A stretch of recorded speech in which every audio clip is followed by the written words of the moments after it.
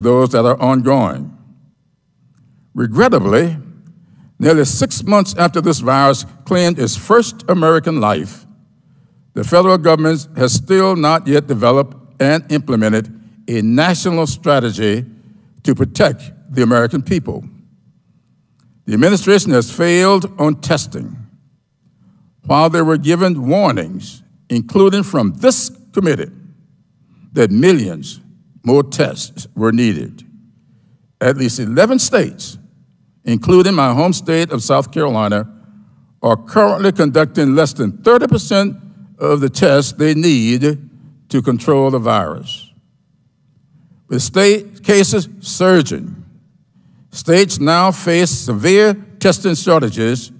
Wait times for results are a week or longer in many places, and some states have been forced to ration scarce tests, limiting them to only the sickest patients. Without widely available rapid testing, it is nearly impossible to control the spread of the virus and safely reopen our economy. Yesterday, it was reported that back in April, the administration considered implementing a national strategy to coordinate the distribution of test kits and contact tracing infrastructure, but it decided not to do so because at the time, the virus was primarily spreading in blue states. Since the earliest days of this crisis, the Trump administration has also refused to call on Americans to take simple steps to stay safe, like wearing a mask and social distancing. Instead, the president has downplayed the severity of the crisis, claiming the virus will disappear sidelining government experts who disagree and seek to legitimize discredited remedies. When the public health agencies contradicted the White House's political message, for example, when the CDC warned that fully reopening schools presented the highest risk for spreading the coronavirus, the White House pressured the agency to change their advice. The result of these decisions is that the virus has continued to rage out of control, and our nation's economic misery has continued. And that brings us to, today, to today's hearing. It is clear that the administration's approach of deferring to, deferring to the states, sidelining the experts, and rushing to reopen uh, has prolonged this virus and led to thousands of preventable deaths. In fact, the United States response stands out as among the worst of any country in the world. My question is where should we go from here? Today, I am calling for the administration to finally give America a comprehensive national plan that prioritizes science over politics. That plan should include buying and distributing enough tests and protective gear for every American who needs them. And it should include clear public health guidance to every American to help curb the spread of the virus. I am looking forward to hearing from our panel what common sense steps we can take as a country to control this virus and how the administration's plans to accomplish this goal. Today's witnesses have long distinguished careers under both Republican and Democratic presidents. Public health is not a partisan issue. And I hope that all members of the committee will join me in seeking the best health advice for the American people, not fighting partisan political battles. We do not need to lose another 150,000 American lives. But if we do not make drastic changes now, this tragic outcome is well within the realm of possibility. The chair now recognizes the distinguished ranking member for his opening statement. Thank you, Mr. Chairman, and thank our witnesses for being here. Um, before I open, I do want to mention, Mr. Chairman, this is our first meeting that we've had since the passing of our dear friend and colleague, John Lewis. Uh, I know you personally were friends with him for roughly 60 years, and uh, we all feel that loss. Very fitting tributes yesterday, and uh, he was a dear colleague, but he was also a key important part of the movement that has made America an even greater nation. Uh, it's very fitting that our country has been paying such a great tribute to a dear friend and uh, an icon in the civil rights movement, our friend John Lewis. Thank you again, Mr. Chairman, too, for having this hearing. I want to thank the witnesses, uh, and I also want to thank your teams because you represent what is on the front lines of President Trump's plan to combat the coronavirus crisis. Um, for anybody to suggest that there's not a plan, in fact, when you look at the title of today's hearing, Urgent Need for a Plan, that's not the title of a hearing, that's a political narrative, and a false political narrative at that. You wouldn't even be here today if there wasn't a plan, because you are the people tasked with carrying out the plan. In fact, if you were sidelined, you wouldn't be here either. And I know some people want to suggest that, but maybe they haven't spent time reading different components of the plan. These are just a few, by the way, a few of the documents that your agencies have published to show states how to safely reopen, to show schools how to safely reopen, to show, show nursing homes how to care for their patients, which, by the way, if all governors would have followed those guidelines, thousands more seniors in nursing homes would be alive today if just five governors would have followed your plan that was developed by President Trump and is being carried out by you and your teams effectively every day. So, again, let me thank you on behalf of the millions of American people who are alive today that wouldn't be alive if you weren't carrying out President Trump's effective plan to keep Americans safe as we learn about this virus, as we work to get a cure for this virus. And by the way, the cure, Operation Warp Speed, is part of President Trump's national plan. And I think we've all seen just how close we are to a vaccine, which is revolutionary, revolutionary in modern time to be this close to a vaccine. We wouldn't be here that close to a vaccine without President Trump's leadership and without the work of you and your teams to carry out that plan. So, again, I appreciate the work that you continue to do. Every day we learn more about a plan, like any plan, whether it's a military plan or a football uh, plan. You start the first play with a plan, and then the plan has to change as things change along the way, and we're seeing that play out daily. When you look at the work that's been done, I think we talk about different parts of the guidance. Uh, we've We've not always been in agreement on each part of them, but we've had a number of hearings where we've talked through how to improve testing. In fact, one of the first hearings we had in this committee on testing was back when America was maybe conducting less than 200,000 tests a day.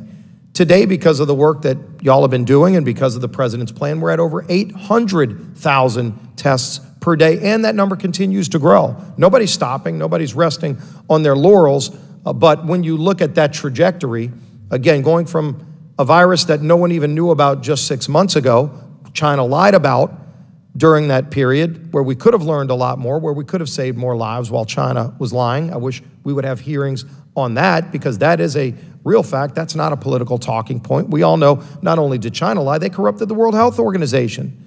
Uh, and they were perpetuating that as well. It made it harder for us. Uh, I remember being in a meeting at the White House with Dr. Fauci months ago before it was a global pandemic, and we were talking about the desire to get some of our medical experts into China to find out what was really going on, and they wouldn't let you in. The Chinese Communist Party wouldn't let you in when President Trump wanted to send medical experts into China before it spread into the United States. And that caused lives. Why aren't we having a hearing about that?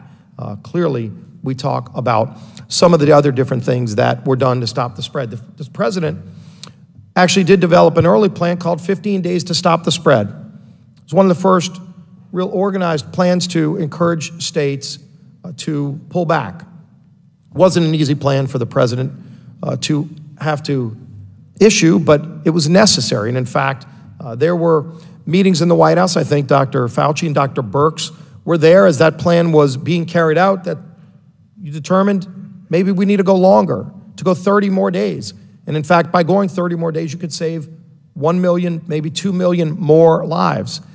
And then President Trump announced that plan and did save those lives. The Trump administration then released a plan called Guidelines, opening up America again on how states could safely reopen. That's this part of the plan, by the way. Maybe some people are so busy reading tweets that they haven't actually read the plan. It's really good guidance issued by some of the most recognized international experts on disease pre pre prevention. Some of you here today represent parts of this plan.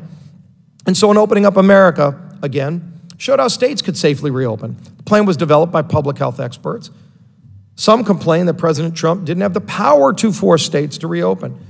So the administration actually released guidelines so that states had discretion. Each state, we, we all understand how the 10th Amendment work. Each governor is in charge of their state. Nursing homes are actually regulated by the states, not by the federal government, but we give guidance. And it's been really good guidance. And in fact, that guidance has saved lives. We hear cities, and we hear people talking about the cries of the need for testing. So let's talk about what HHS has done to lead on testing. Zero tests. Again, go back a few months ago, zero tests to now over 800,000 tests a day. In a matter of just months, uh, over 52 million tests have been conducted nationally. And again, nobody's slowing down. We're actually increasing that number. We will be over a million tests a day. Maybe we'll have a hearing on how much progress we've made there, and we want to continue to make progress. I know Dr. Giroir was in Baton Rouge with me just a few weeks ago with the vice president talking about what we're doing to increase testing, even to limit the number of days as a goal to get below seven days for anybody to get results. And that, that number has narrowed dramatically. Now, more than half of America half of Americans who get tested get their results in less than 24 hours because of the rapid work that this team has done carrying out the president's plan. Testing is not just about numbers, it's about targeting testing to the right people at the right time. To that point, the Trump administration's begun distribution of rapid point of care tests to nursing homes. I've talked to nursing home heads recently who said that decision by the Trump administration to purchase nursing, uh, an, an actual testing kit for every single nursing home in America, over 15,000 nursing homes. Each of them will have their own 15 minute test. That will save lives. That's part of this plan. On May of 15, 2020, President Trump announced Operation Warp Speed. Again, part of a very directed national plan to combat this deadly virus. Operation Warp Speed is a public private partnership between several federal agencies to accelerate the development manufacturing, and distribution of a COVID 19 vaccine, as well as therapies, diagnostics, other things to, to direct the specific goal of delivering 300 million doses of a safe, effective, FDA proven vaccine for COVID 19 by January 2021. And we're seeing that happen at remarkable speed. In fact, we're not just going to wait for FDA approval, they're mass producing those vials right now so that if there is one of those vaccines approved by the FDA, it's ready to go. We don't start manufacturing at that point and cost us more weeks. We're actually ready to go. By the way, that's some of that money was money that we passed in the CARES Act that President Trump has used effectively to be ready as the vaccines are being developed in testing phases. Uh, Dr. Fauci, I look forward to learning more about the stunning progress that we've seen researchers make on cures and vaccines. Uh, I know you've been involved in researching some of the most awful, deadly viruses uh, that we've known in the history of the world HIV, Ebola, of course, now Corona. We still don't have a vaccine for HIV. There's been over 10 years of work, and you have done remarkable work to at least give therapy so that people can extend their lives, uh, but not a proven vaccine uh, for so many of these diseases years and years later. And here we are six months uh, into Corona, and we are this close to a vaccine. So you look at where we've seen the Chinese government. Uh, we hopefully will get into conversations about how costly it was, how many lives were lost because the Chinese Communist Party lied to the world, not just the United States, but the world, uh, getting the World Health Organization to give false information in those critical early days. But Why don't we now talk about moving into August? A lot of work is being done to talk about how to safely reopen schools. In fact, more guidance was just given as part of this plan by CDC to safely reopen schools. We saw, of course, the American Academy of Pediatrics gave great guidance on how to safely reopen school and went further and talked about the damage to children when you don't reopen schools. Uh, so much damage being done to our children in those systems where they're talking about not reopening. Hopefully, we can shine some light and show those other school systems how they can safely reopen and serve those children, millions and millions of children who are counting on us to get it right. Those school, systems have to get it right. There's money, by the way, still available at every state for sanitizer, for masks, for all the things you would need to safely reopen. It's not about money, it's about the will, the desire to do it. We have the will, you've had the will. You have been carrying out the president's plan. Every day we will learn more. Every day we will continue to strive to address the new challenges. But let's not forget the things that have already been done as part of this plan that have saved millions of lives. We mourn every loss. But let's also recognize the lives that would have been lost if you weren't on the job carrying out President Trump's plan to contain this, to find a vaccine, which we're on the brink of, and to help safely reopen our economy, safely reopen our schools, so that we can get back to our way of life as we combat this deadly virus. With that, I look forward to hearing from our witnesses. Thank you, Mr. Chairman. I yield back. Thank you, Mr. Ranking Member. I would now like to introduce our witnesses. Today, the Select Committee uh, is pleased to welcome Dr. Anthony Fauci, the Director of the National Institute of Allergy and Infectious Disease at the National Institutes of Health. We welcome back uh, Admiral Brett Giroir, the Assistant Secretary for Health at the Department of Health and Human Services. And finally, we welcome Dr. Robert Redfield, Director of the Centers for Disease Control and Prevention. Thank you to all of our witnesses for being here today. Will the witnesses please stand so I may swear them in? Please raise your right hands. Do you swear or affirm that the testimony you are about to give is the truth, the whole truth, and nothing but the truth? So help you God? You may be seated. Let the record show that the witnesses all answered in the affirmative. Without objection, your written statements will be made part of the record.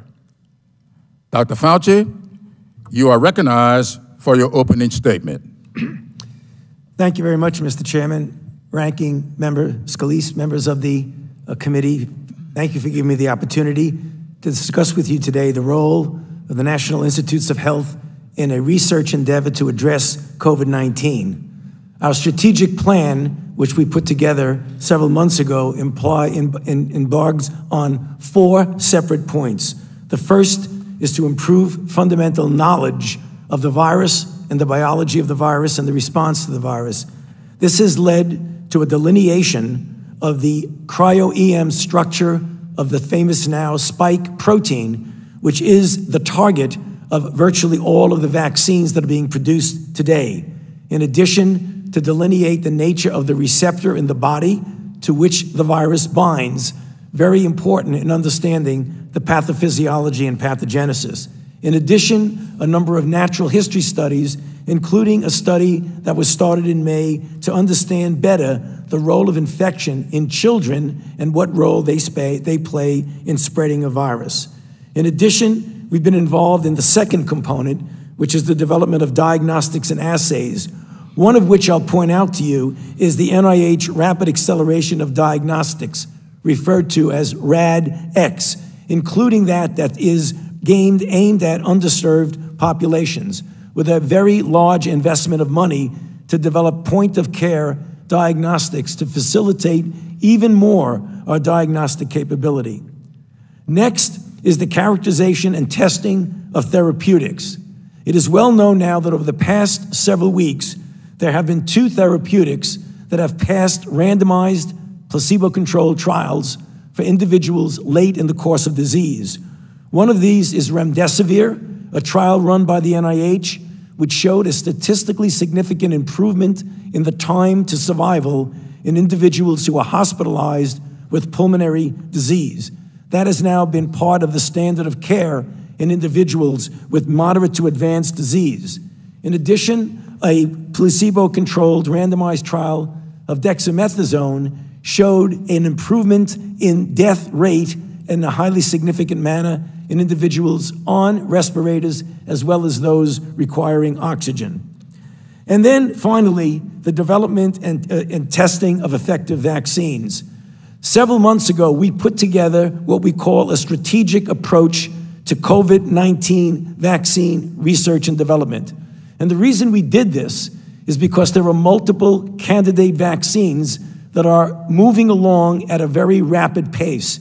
And we wanted to make sure that they learned from each other. So we made standardized protocols, common data and safety monitoring boards, common primary and secondary endpoints, and common individual laboratory tests.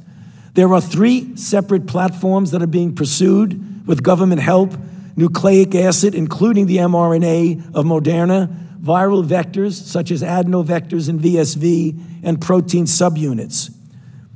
One of these is a, is, is a trial that started last Monday, the 20, this past Monday, the 27th, to beginning in a phase three trial. It's a trial that will go over several months involving 30,000 individuals.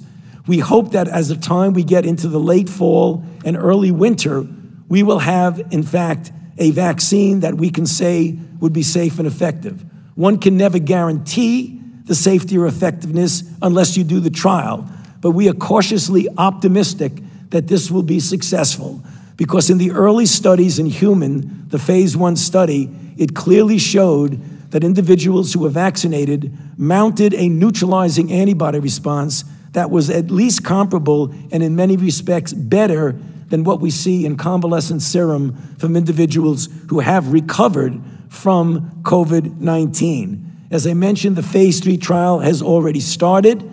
30,000 individuals, we are already starting to enroll.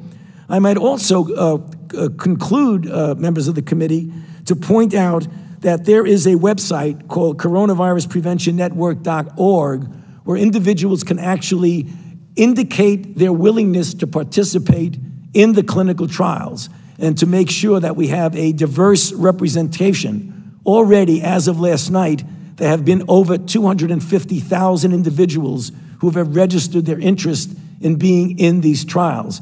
And I just want to use my last couple of seconds to urge anyone who's listening who wants to participate to please go to that website and register so that you can be part of the solution of this terrible scourge. Thank you, Mr. Chairman. Thank you very much, Dr. Fauci. We will now hear from Dr. Giroir, or Admiral Giroir. Both are fine. Uh, Chairman Clyburn, Ranking Member Scalise, and distinguished members of the committee, it is good to see all of you again. Testing is an essential component of America's public health response to COVID 19. Testing enables clinical decision making, it heralds impending outbreaks, it informs resource allocation, and it assists in minimizing economic and social disruption. But we cannot test our way out of this or any other pandemic. Testing does not replace personal responsibility. It does not substitute for avoiding crowded indoor spaces or washing hands or wearing a mask. A negative test does not mean that you won't be positive tomorrow. A negative test does not substitute for avoiding crowds or wearing a mask or protecting the vulnerable with your actions. All of that being said, as of this morning, the nation has performed over 59 million COVID 19 tests, now averaging over 820,000 tests per day, up from 550,000 tests per day when I appeared before this committee just earlier this month.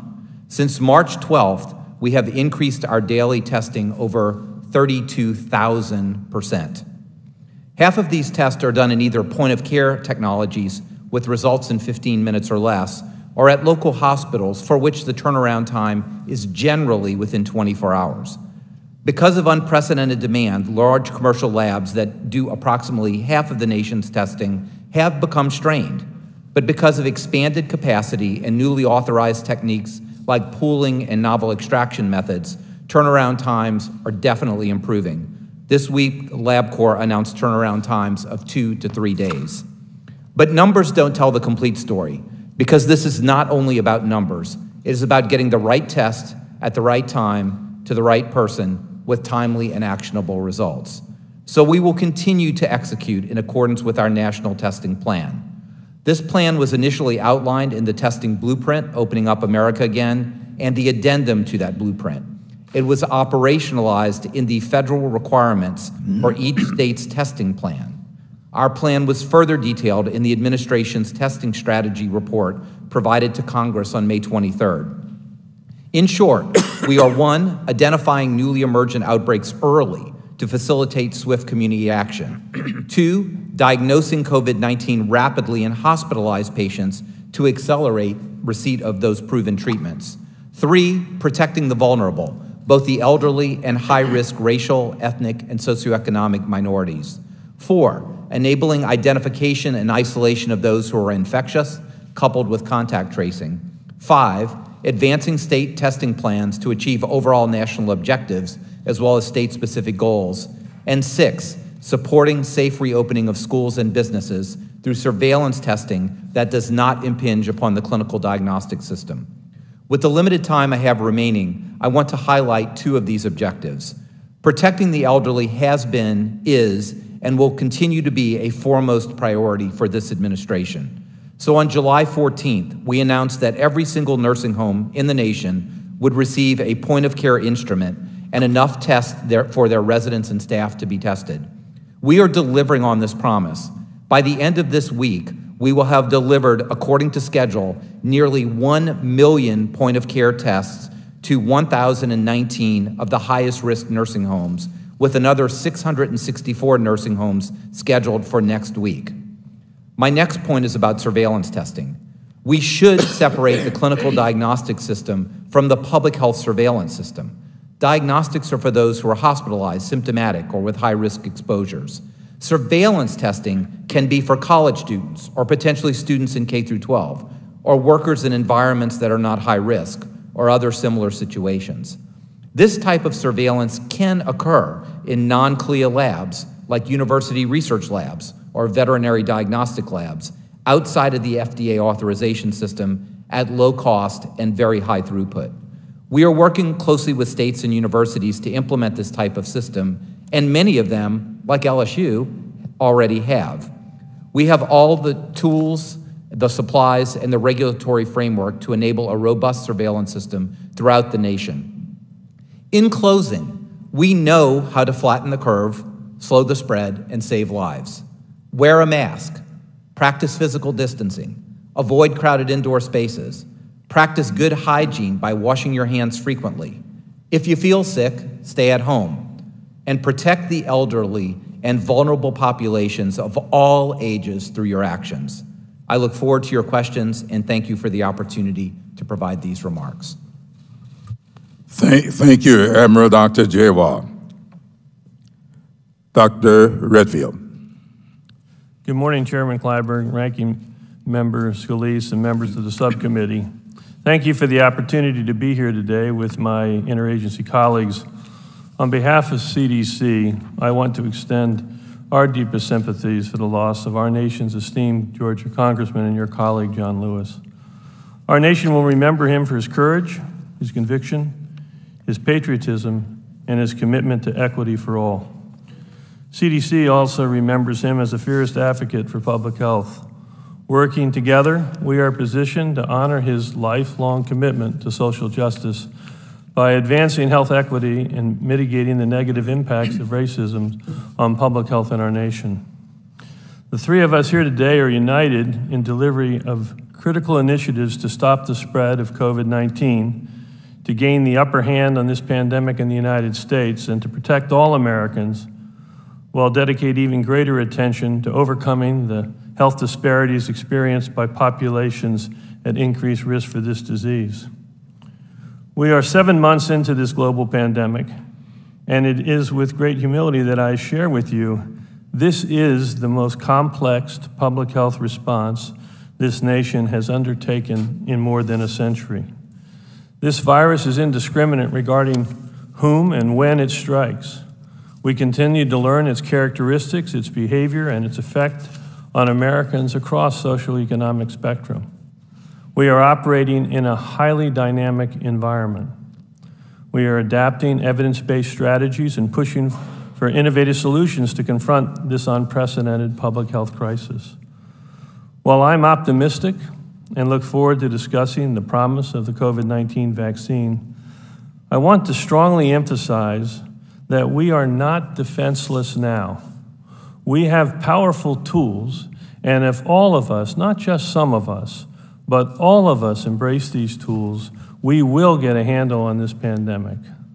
I am appealing to all Americans to be part of the public health solution. Wearing a simple mask properly, it's critical to limiting the transmission.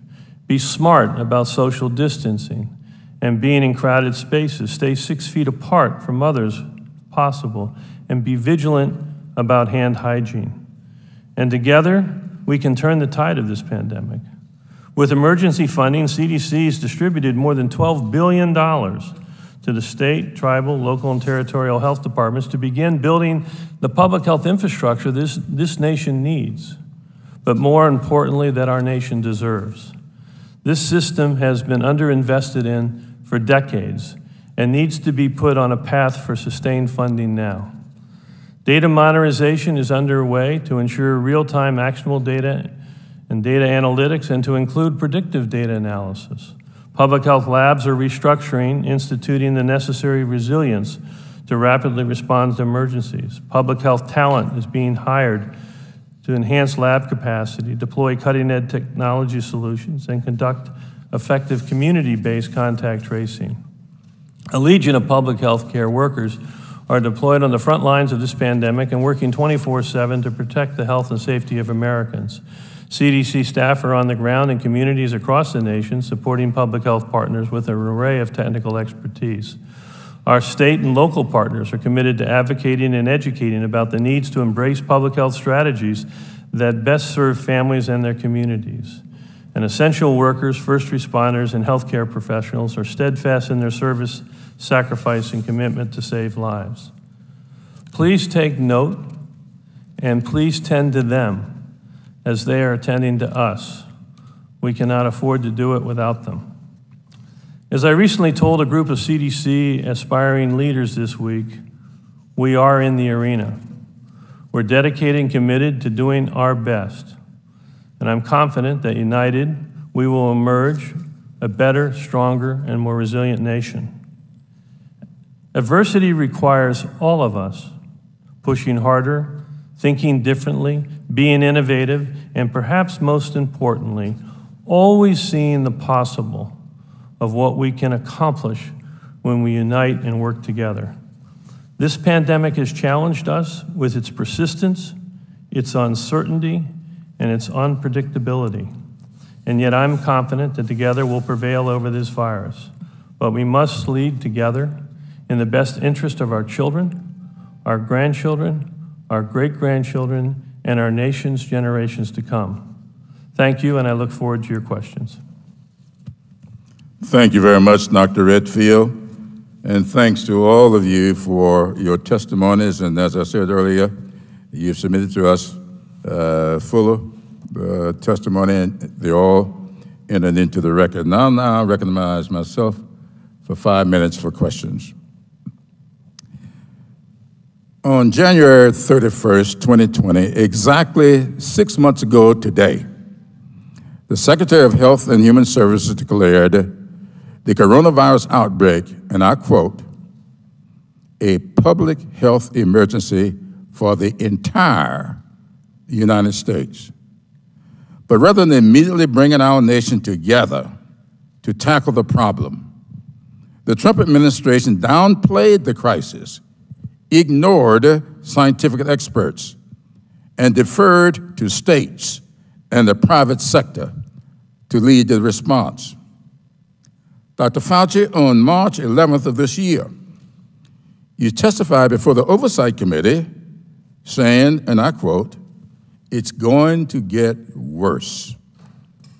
I regret to say You were right. It did get worse. On March 11th, the country had confirmed just over 1,200 cases and 31 deaths. Today, we have confirmed more than 4.4 million cases, and we have just reached 150,000 deaths. There's a chart that I have up here. This chart compares the number of new daily coronavirus cases in the United States with those uh, in Europe.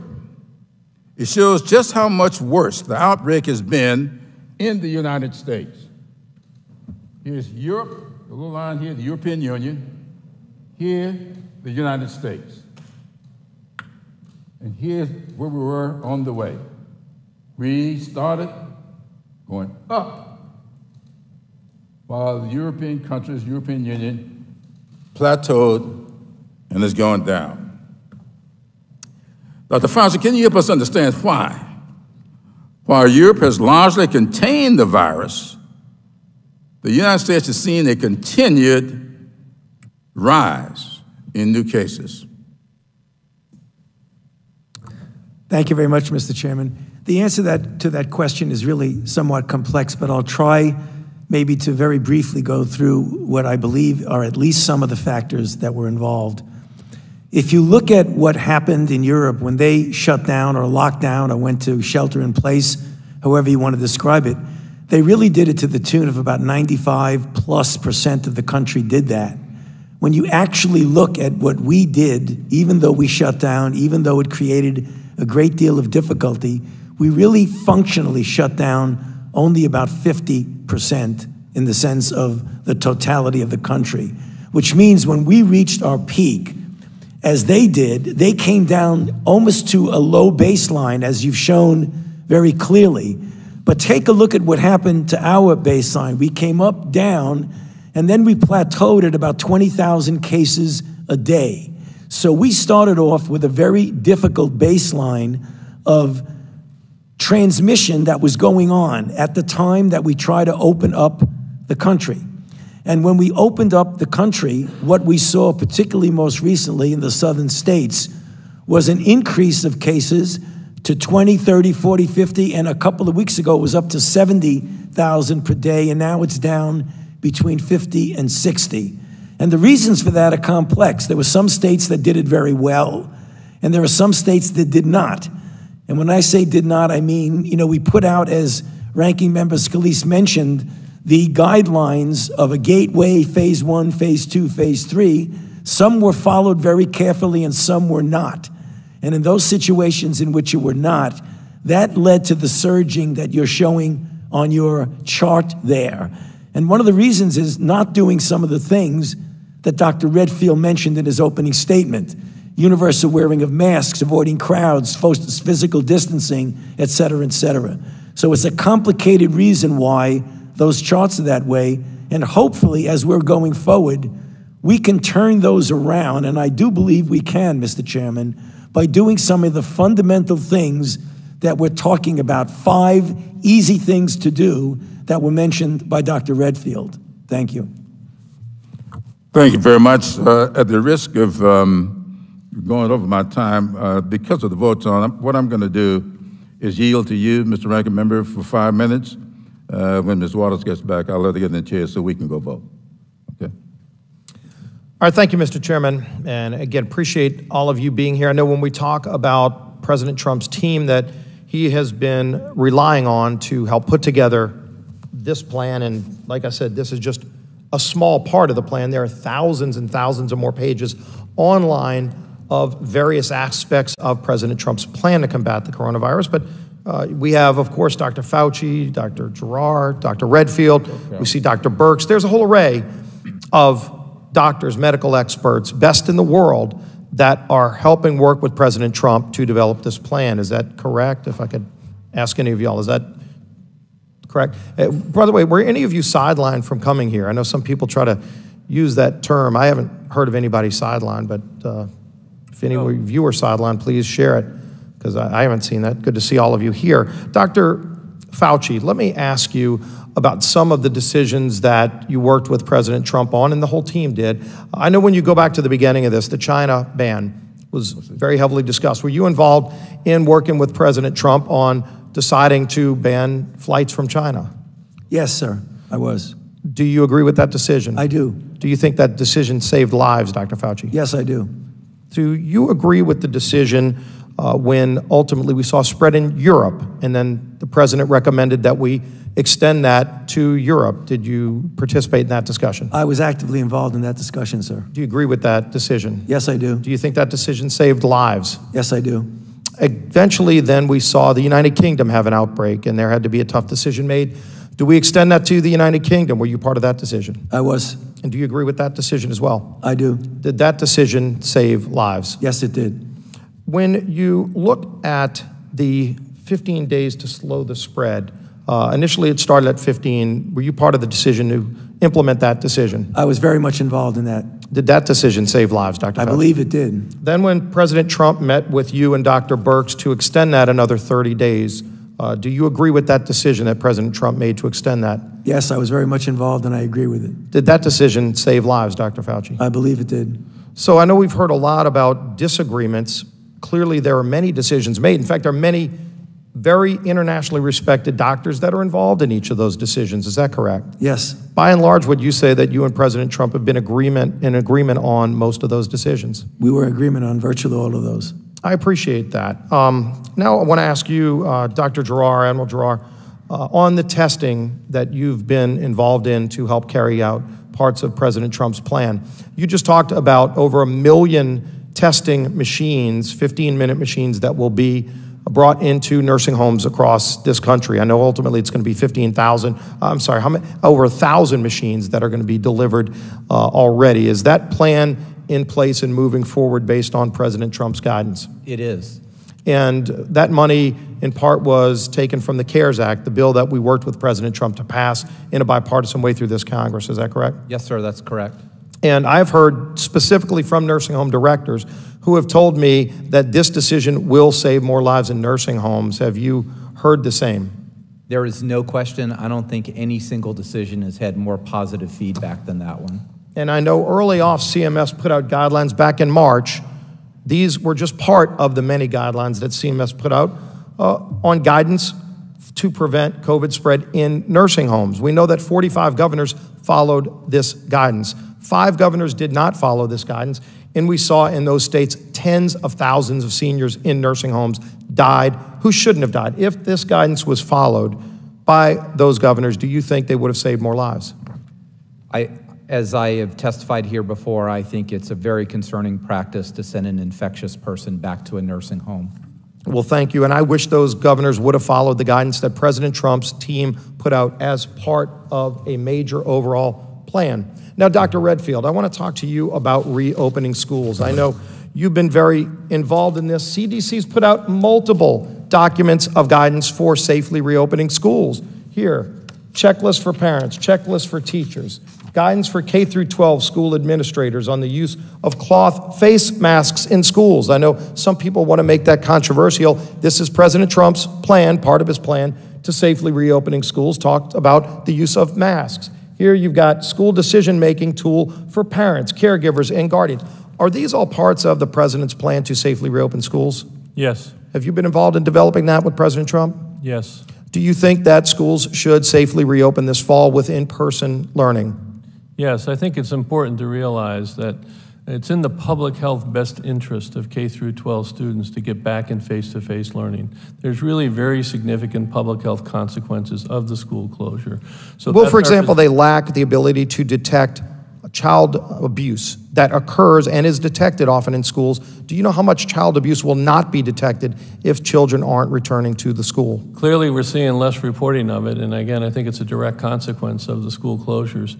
Well, 7.1 million uh, kids get their mental health service in schools. They get uh, nutritional support, as we mentioned, from schools. We're seeing an increase in drug use disorder as well as suicide in the adolescents individuals. So I do think it's really important to realize it's not public health versus the economy about school opening. It's public health versus public health of the K through 12s to get these schools open. We got to do it safely and we've got to be able to accommodate. uh, Well, I appreciate that, and I know we're out of time. I hope that these school systems follow President Trump and these great medical doctors' guidance and help those kids by safely reopening. With that, I thank our witnesses, and Mr. Chairman, I yield back. I thank the ranking member. Uh, The chair now recognizes uh, Mr. Maloney for five minutes.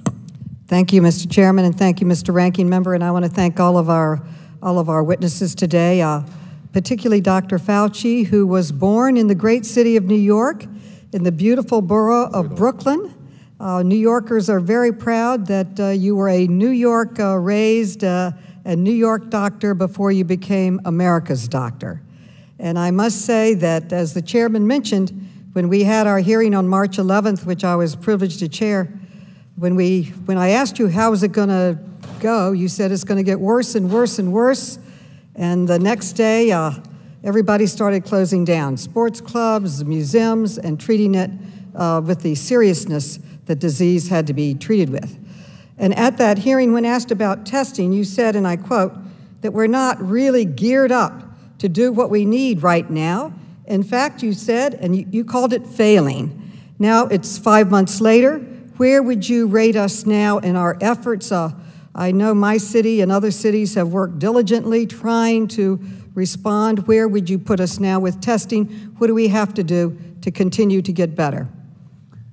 Well, I think you can get a, a more detailed response from uh, Admiral Giroir, but I'll, I'll comment. I think that things are considerably different and improved now than it was several months ago, both for the numbers of tests that have been improved as well as for the efforts that are going into to expand our capability. In other words, to more prudently have screening testing done in one segment as well as testing to determine diagnosis and follow up in others.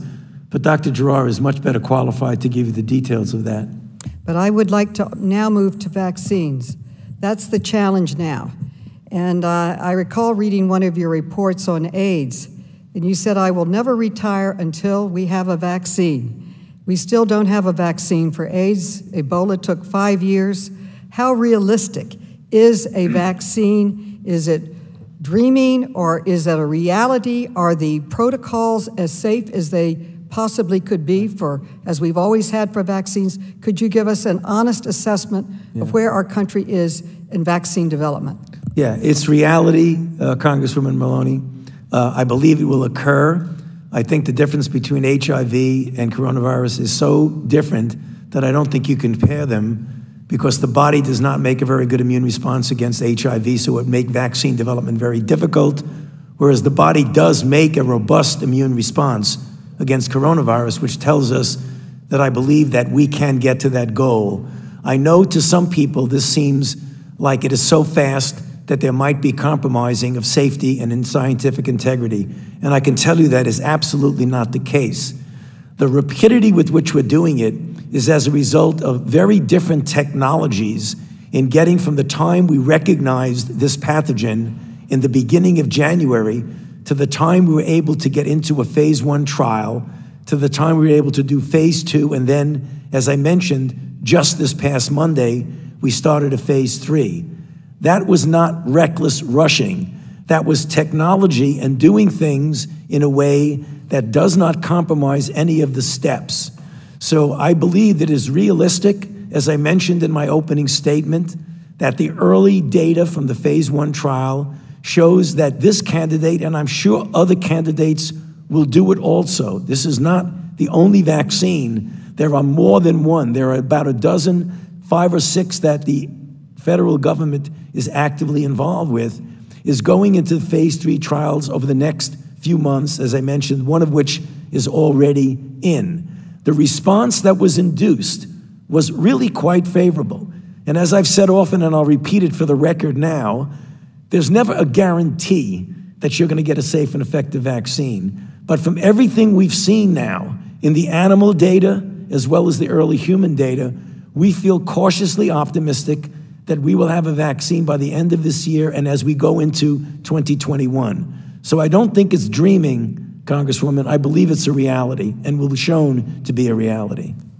That's a very good news. The second step is how do we distribute it?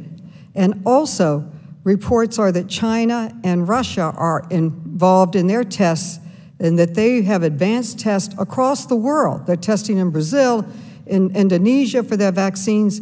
Uh, should they develop one earlier, would we manufacture it here? We, right. When we develop it, how do we plan to distribute right. it? We also have to think about the world, because if we don't cure it in the world, then we haven't cured it too. Right. So the steps forward after sure. the vaccine's developed. Sure, there are a couple of questions there. I'll try to answer them quickly, Congresswoman. So the first thing is I do hope that the Chinese and the Russians are actually testing the vaccine before they are administering the vaccine to anyone. Because claims of having a vaccine ready to distribute before you do testing, I think, is problematic at best.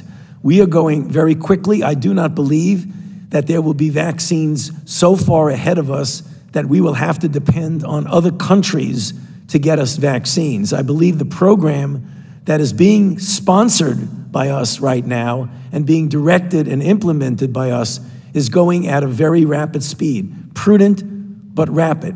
Now, with regard to distribution, Already, right now, there are plans, as was mentioned, I believe, by Ranking Member Scalise, that we're taking at risk, financial risk, not safety risk, but financial risk, the development of doses of vaccine right now as we speak, so that they will be ready by the time we do show safety and efficacy, we'll be able to distribute it and it will be done by a, a, number of mechanisms. The standard mechanism working with the recommendation by the ACIP together with the CDC, now being complemented by recommendations from the National Academy of Medicine, and in collaboration with the Department of Defense and the CDC, working together, it will be distributed.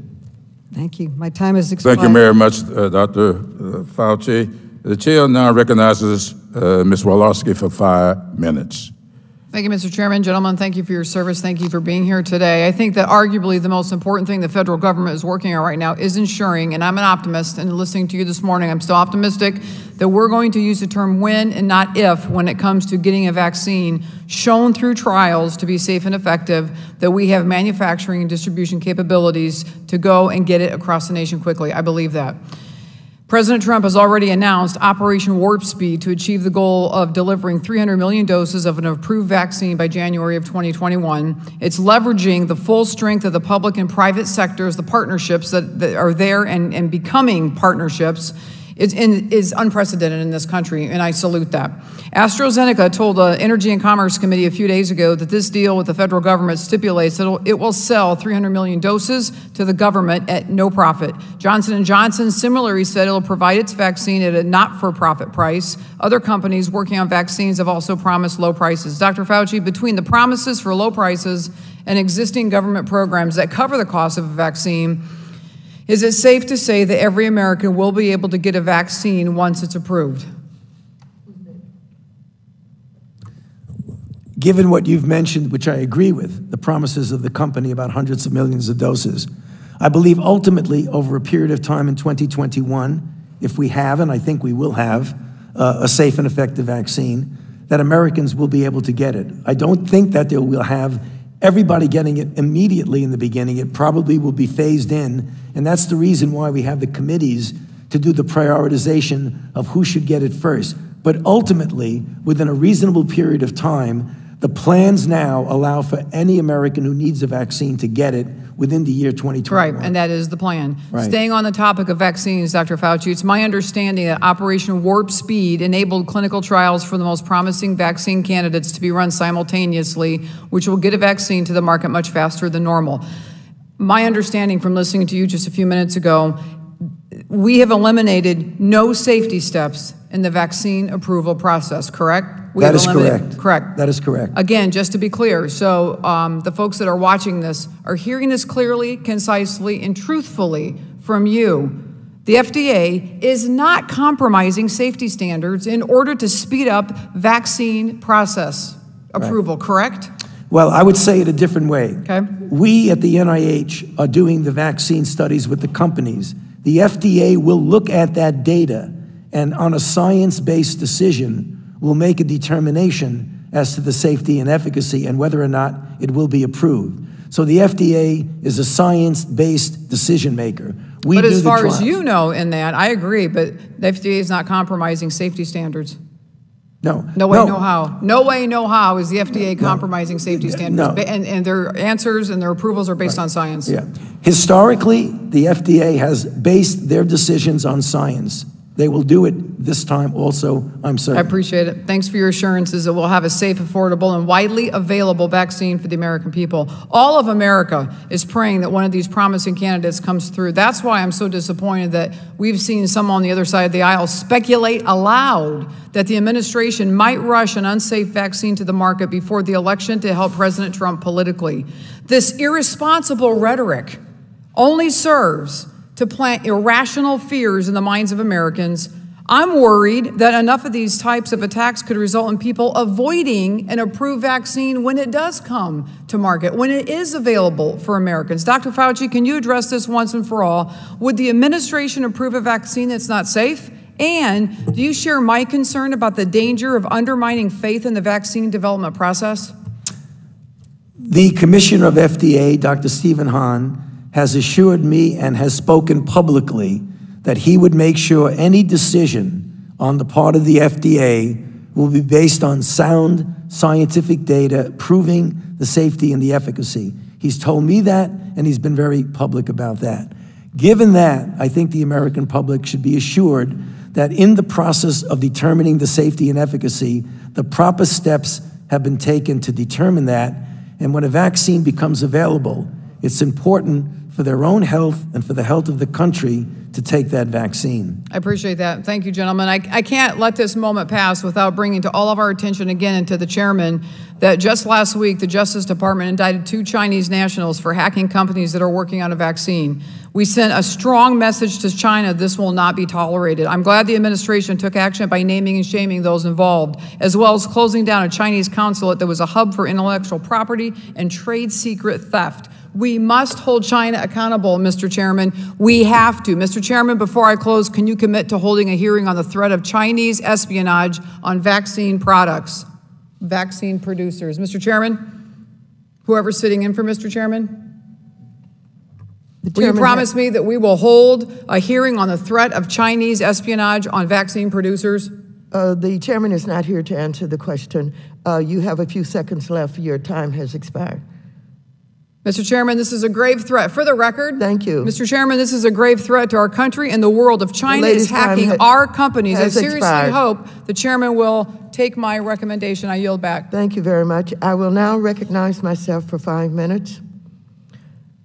On July 10th, the Trump administration ordered hospitals to change how they reported hospitalization rates, testing numbers, and other data related to the coronavirus. Instead of reporting to the CDC, which hospitals have done for more than a decade, they were instructed to start reporting the data to the Trump administration directly, specifically the Department of Health and Human Services. They were given just two days to prepare for this drastic change. Leading health groups warn that the changes in data reporting will, quote, worsen our ability to mitigate, suppress, and recover from our national public health emergency, unquote. Other experts are concerned that this decision may have been made so the Trump administration could control and hide data it finds politically inconvenient. Dr. Redfield, when did you first learn that the administration planned to move the data from CDC to a different portal run by HHS? Well, Congressman, we weren't directly involved in the, the final decision, but what I can say is that CDC then and now continues to have access to all data, uh, does all data uh, analytics, so there's no restriction of any of the data, and that data we continue to forward face the American public. Dr. Redfield, when did you first learn? When were you first told? when were again, you I- first I- notified? Uh, Again, I, as I mentioned, I wasn't involved in the decision. I- So you were I never. don't to- remember the exact Am I date. to understand, reclaiming I don't time, remember the exact date. Am I to understand that you were not told at all? Well, I was told, actually, once the Secretary's office made the decision, that that was the decision, and we worked together. So how long was that? Uh, I don't remember, but I can get back to you the exact date, but we Okay. did work in cooperation to uh, help make sure that this was Reclaiming my done in time, an did you effective agree way. with this decision, Dr. Redfield? Again, I think it was an important decision in light of the. Do the. you agree with the decision? Yes, I said it's an important. deci- Thank you. Did you discuss this change with Vice President Pence or with Secretary Azar? Uh, Not directly. Indirectly? I, I talked directly with the individuals responsible within the So did Secretary's you office. discuss it with the Vice President Pence? No, Did you discuss it with Secretary Azar? no. Who told you about the reasons for this change? Well, I think we collectively understood the reasons, if I can answer, is there was substantial advancements in therapeutics with remdesivir, which made it really important to be able to understand who was newly hospitalized in real time that day, so allocations of remdesivir to get to that hospital. I thank you very much for that. And so you developed the reasons, no one dictated the reasons or told you the reasons for the change. You came up with the reasons? Congressman, yes, I think it was important that we were able to, in real time, be able to know where remdesivir needed to go. And the system that we had developed, the, the National Healthcare Safety Network that we do for. So um, were you told about the changes, why they were being done? Or did you and others develop the changes? Who told you? We work together About the cooperative. We work cooperatively together, uh, members of the HHS and CDC, in, in recognizing the Okay, I only importance of have these so much time. The Trump administration has threatened to cut off the supplies of remdesivir uh, to hospitals that do not follow the uh, new reporting mandates. Dr. Redfield, this is the only drug known to successfully treat the coronavirus. Should a patient be denied access to a potentially life-saving drug like remdesivir, because a hospital was unable to comply with a sudden change in HHS reporting requirements? My understanding is we continue to do everything to make sure remdesivir gets to all patients that would potentially benefit from it. Uh, But do you do agree that uh, they may not be able to get them to patients because of uh, the way that the information was given and the t- time frame that it was given in? Congresswoman, I would disagree. I think the reason the changes were made was to assure that individuals could get access to remdesivir in a timely fashion. Would you agree um, that um, we basically, well, this is the only drug known to successfully treat the coronavirus. Should a patient be denied access to a potentially life-saving drug like remdesivir because a hospital was unable to comply with a sudden change in HSS reporting requirements? And again, I'm trying to say, I think the intent and the consequence of what was done was to ensure that patients aren't denied access uh, to remdesivir, to make sure we get timely distribution to the hospitals where these patients are. Thank you very much. I've exhausted my time. Um, next, we will hear from Mr. Foster, I believe. Mr. Luetkemeyer is next. Thank you. You are recognized for five minutes, Mr. Luetkemeyer. Thank you, and thank the witnesses for being here today. Appreciate your testimony and your expertise. Uh, Dr. Redfield, on Tuesday, July the 14th, you stated that right now we're seeing, sadly, far greater suicides than we are deaths from COVID. We're seeing far greater deaths from drug overdose than are above excess, than we had as background, than we are seeing deaths from COVID. Since the pandemic began, alcohol sales have increased by more than 25%, and suspected drug overdoses have climbed 18%.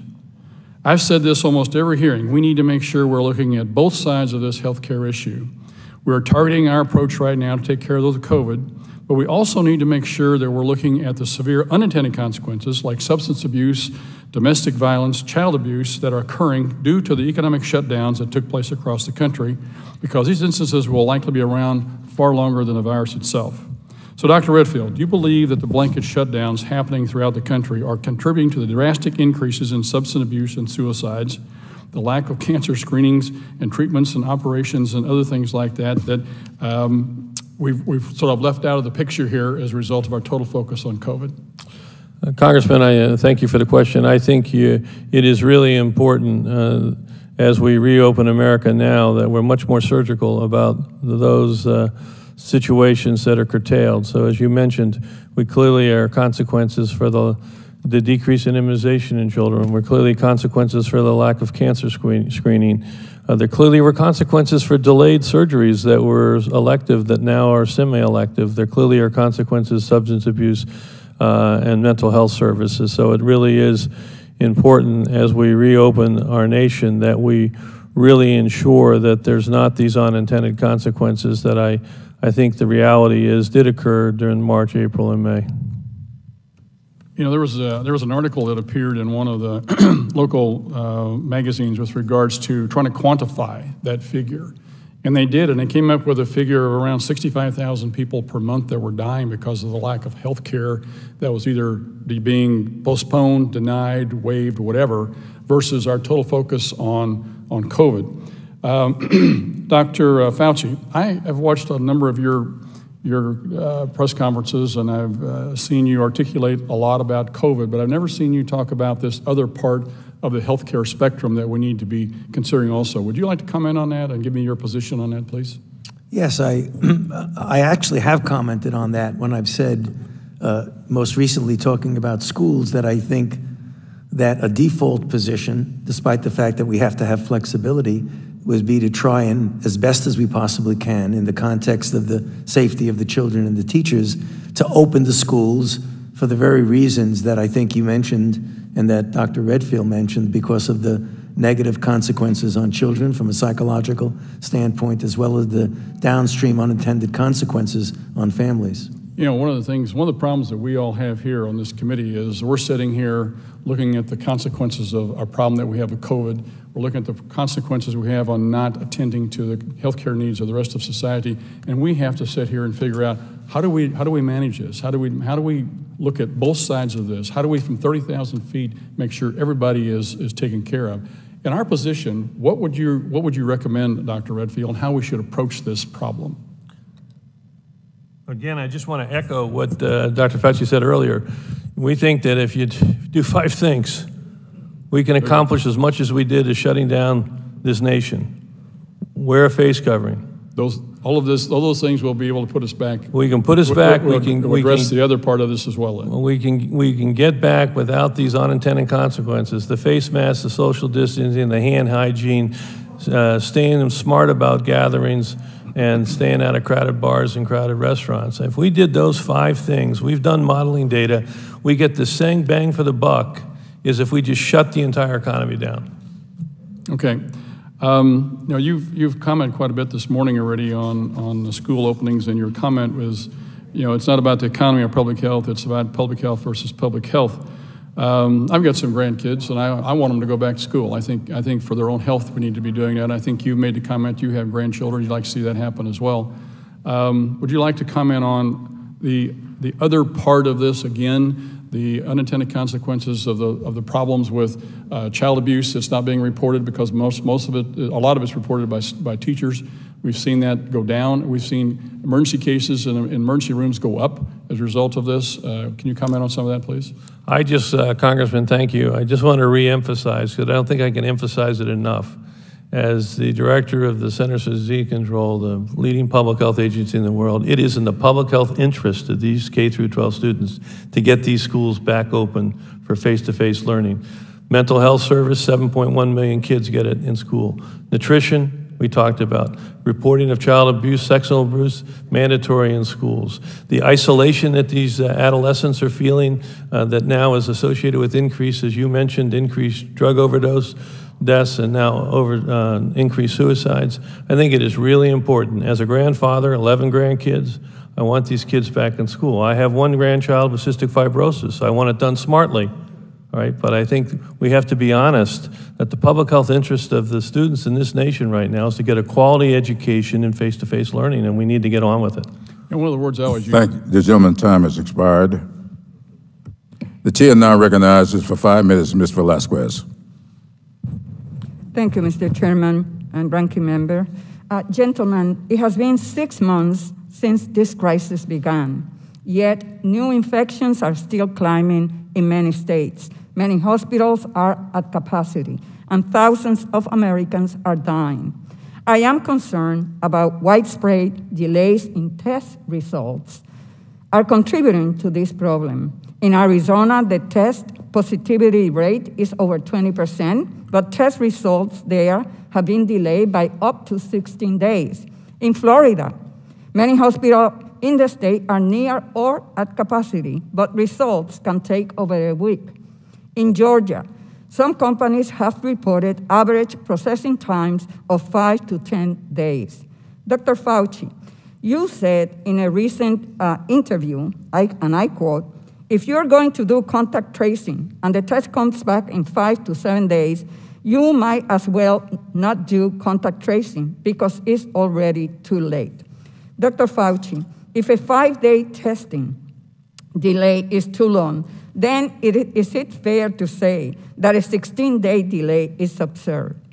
What are the consequences from these delays? I believe you can get a more detailed answer from uh, Admiral Giroir, but uh, as I said before, that is a delay that would interfere with the effective contact tracing, and we're trying to decrease that. But the exact numbers of the delay, I believe that Admiral Giroir has more precise uh, information on that. Yes, sir. Admiral. Uh, what are the consequences from these delays? Yeah, thank you, ma'am. So as I talked about, about half the tests are done either at point of care or within hospitals, which are pretty, pretty uh, rapid. Um, the current data we have from the large commercial labs are that 59% of all tests are reported within three days, 76% within five days, and I am sure there's an outlier at 12 to 16 days because that happens, but that's very atypical. And in the cities you talked about, that, that, um, sir, brought, that is not what we are hearing from places like Arizona, Florida, and Georgia. So I get the Those, data every single morning from every single state and can tell you specifically what the, that is. And we have surge testing uh, we have brought federal resources to massively surge in Phoenix, Re and that's why it's totally gone down. In Miami, totally gone down. Jacksonville. Reclaiming my time, Dr. Redfield, I would like to turn to you. Does the CDC have comprehensive information about the wait times for test results in all 50 states?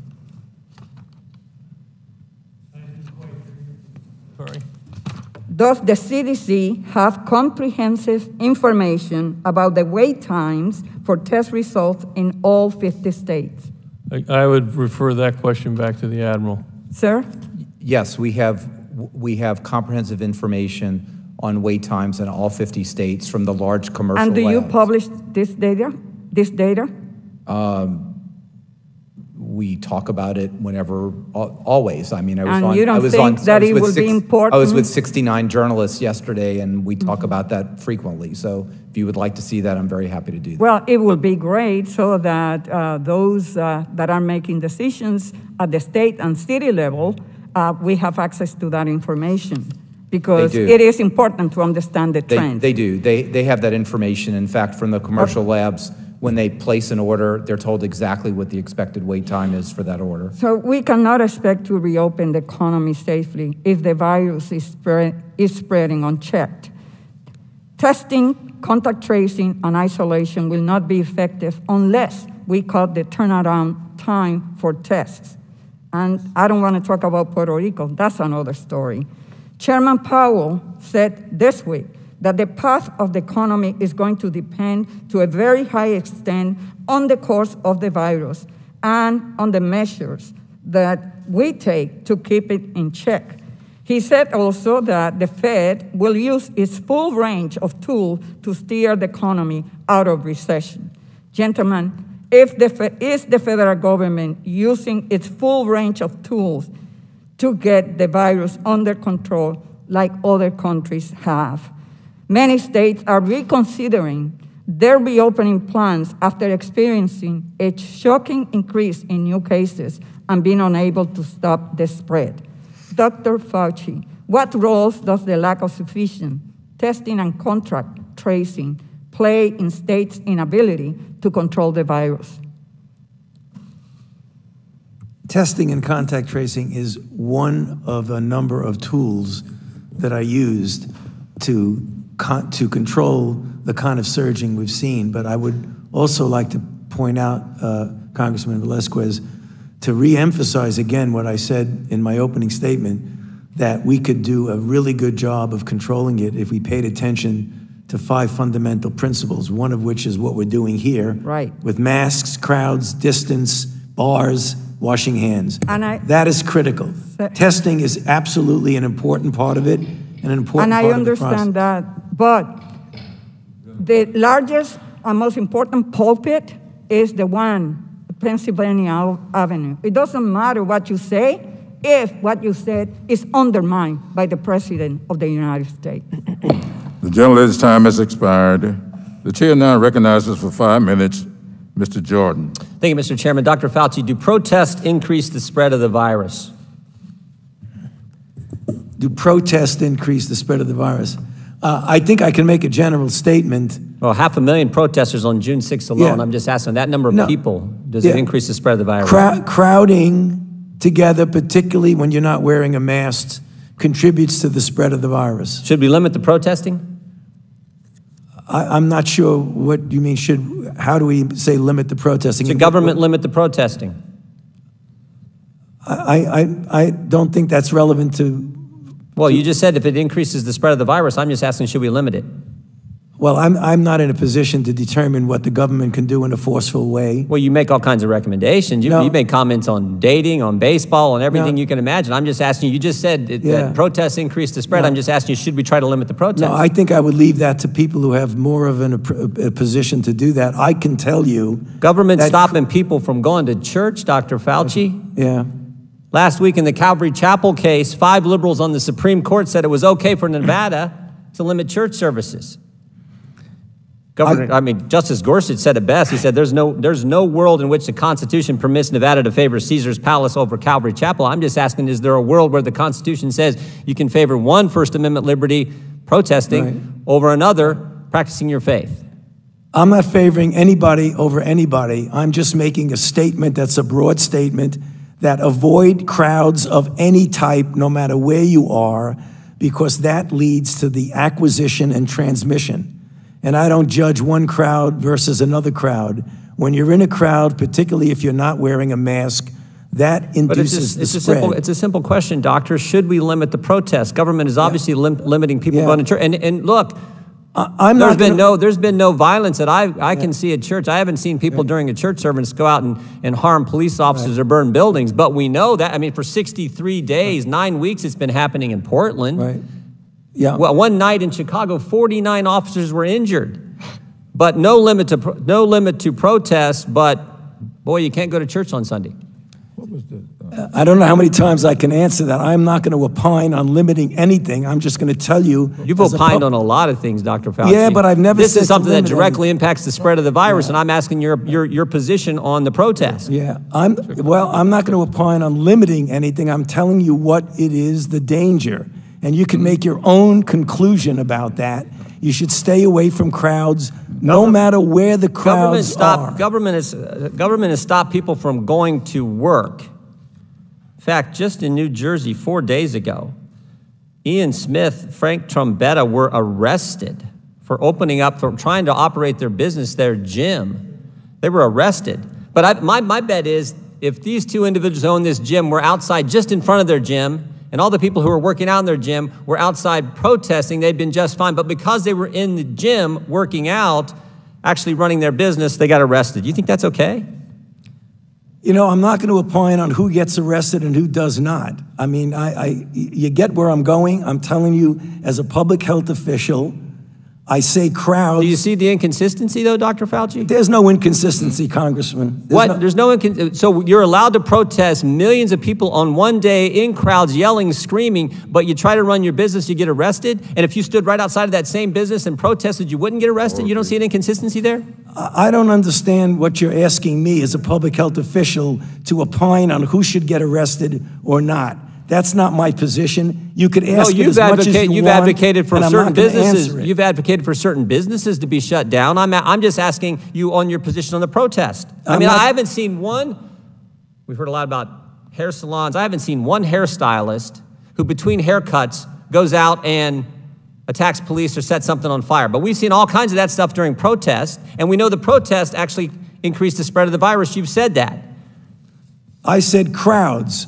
I didn't say specifically. I didn't say protest do anything. So the protests don't increase the spread of the virus? I didn't say that. You're putting words in my mouth. No, I, I, want, I, would, I just want an answer to the question. Do the protests increase the spread of the virus? I, I don't have any scientific evidence that anything. I can tell you that crowds are known, particularly when you don't have a mask, to increase the acquisition and transmission no matter so what. So you don't have a is. position on whether the protest increase the spread of the virus or don't increase the spread of the virus. Uh, I'm saying that crowds, wherever the crowds are, can give you an increased probability that there's going to be acquisition and transmission. But do you understand Americans' concern? Protesting, according, particularly according to the Democrats, is just fine, but you can't go to work, you can't go to school, you can't go to church there's limits placed on all three of those fundamental activities, First Amendment activities, but protesting is just fine. You know, the, the, uh, the gentleman's time has expired, but I'll just ask the gentleman to just think about his question and put it in reference to crowds that gather in political, at political meetings, at fundraisers without masks, on an oil rig in Texas, nobody wearing a mask, nobody social distancing, but a fundraiser. Right. Would that be problematic? With that, I'll yield five minutes to Mr. Foster.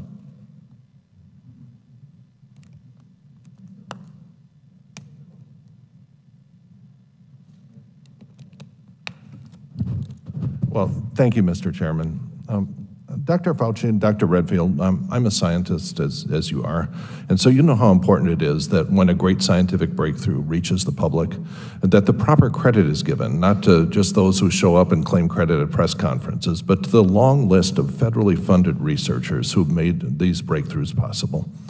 Uh, and also to the enlightened, enlightened federal employees and the politicians who funded that research. I remember back when a few years ago when we had newspaper headlines about all the miraculous cures in cancer immunotherapy, where I gave a floor speech in the U.S. House saying, yeah, this was great, but equally great were the decades of federally funded research and the researchers who made those clinical breakthroughs possible. And also, frankly, that some of the credit goes to the Democratic and Republican members of Congress who resisted the proposals for massive budget cuts to science that were proposed by Republicans for years in the Paul Ryan budgets and by the Trump and Mulvaney budget cuts since then. Now, in the case of the mRNA vaccines, that have been so much in the news this week, the story does not start with Operation Warp Speed. It does not even start with a historic 63 day sprint uh, from the publication of the viral genome to the first patient injected by the mRNA test vaccines.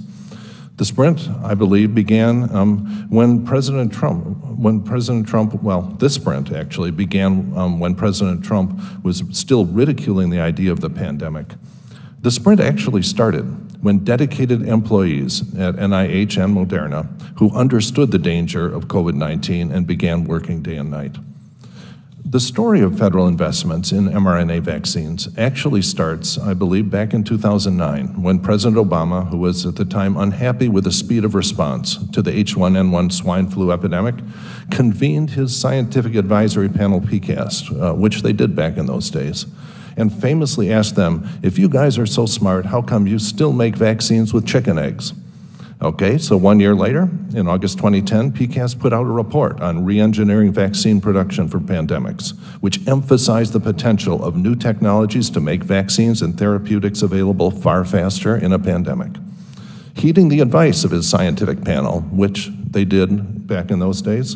In 2013, the Obama administration awarded a $25 million DARPA grant to a startup called Moderna to develop their mRNA vaccine platform for pandemic response.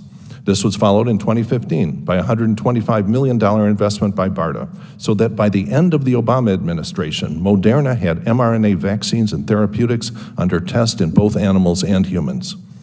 So, why is it that the Obama administration prioritized mRNA vaccines and therapeutics? Well, uh, first off, it's their speed of development, which we saw realized in the 63 day sprint. It's the speed of manufacture, which has to do with the high yields of, of in vitro transcription reactions, and their potency. Scientifically, the exciting news of the last few months is that a potent human immune response can come from doses as low as 30 micrograms of mRNA vaccine. So 30 micrograms, what does that mean? What it means is that this one liter bottle, if it were full of mRNA vaccine, would contain over 30 million doses. This is enough to vaccinate every one of Americans' doctors and first responders, or all of its seniors over 75 years old. And that is why the Obama administration invested in mRNA vaccines and therapeutics starting back in 2009. And without those investments, frankly, Project Warp Speed would not have squat. Now, Dr. Fauci, um, would you agree that when there are great uh, medical breakthroughs, that the public needs to be reminded about the long line of federal R&D that's led to vaccine and therapeutic successes that we're anticipating? Yes, Congressman, and it even goes beyond what you're saying. Everything you say is, is very well taken. And I think maybe it's a good time to recognize the fact that the generosity of the Congress through multiple administrations, both Democratic and Republican, and whether or not the Congress was controlled by Democrats or Republican, the support for biomedical research that goes back decades, leading to everything that you're talking about. But even before then, some of the monoclonal antibody work, some of the work that's being done with the molecules that are directly antiviral molecules. I think we often forget that when we think of the product and often forget, as I think you've appropriately pointed out. Well, what are the scientific investments things. we should be making now to ensure that we're better prepared for future pandemics? And, and how can we support those investments with the kind of science budget cuts that we're pro seeing proposed by the, in the Trump and Mulvaney budgets? Well, I mean, I hope we don't get cuts, but in fact, we have been very. But they've been proposed. They've been proposed well, again and again. Okay. Yeah. Anyway, it looks like my time is up. Mr. Chairman. Mr. Chairman, over here. Yeah, uh, I ask unanimous consent to enter into the record um, story from June 5th, 2020, um, underscoring what Dr. Fauci wouldn't answer today. Dr. Fauci says large protests taking place across the country are a perfect setup for spreading COVID 19. So he said that a month ago, even though he wouldn't say it today. So that's a story from Business Insider, but also ask unanimous consent to enter into the record a June 12th story. Uh, Dr. Fauci tells ABC Powerhouse Politics that attending rallies, protest is risky, even though today his position seems to have changed. Uh, obviously, his position's changed on many things many times over the last several months. But I'd ask to enter those two uh, articles for the record. Well, uh, I'll yield to Dr. Fauci. Like I said, any crowd, any crowd, whether it's a protest, but any crowd in which you have people close together without masks is a risk. And I'll stick by that statement. It's a public health statement. It's not a judgment on why you're there in the crowd. It's a statement related to the fact that you're in a crowd. Thank you, Dr. Fauci. Mr. And, Chairman, and Mr. Chairman I didn't ask him a question, and you let him respond. I was, I was making unanimous consent. Uh, and I'm going to run this meeting. Well, but I, I would like a chance just, to respond just to what remember, you said. I'm going to chair this meeting. No, I understand now, without chair. Objection, That's why I said, Mr. Chairman. Without objection, your statements, whatever you got there, will be entered into the record. And without objection, in a gathering, whether you're protesting or whether you're politicking, any gathering would be risky. And that's what the man has said. Yeah, but that's not that's not what's happening. That's my point. Oh, well, all the that is you're not telling me there are that limits. People can't go to church, can't go Mr. to work. Mr. Chairman, can't go that to gentleman's school. out of order.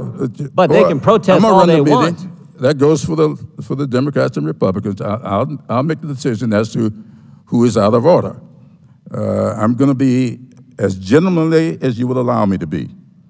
I appreciate okay? it, Mr. Chairman. Well, thank you. And with that, I'll yield five minutes to Mr. Green.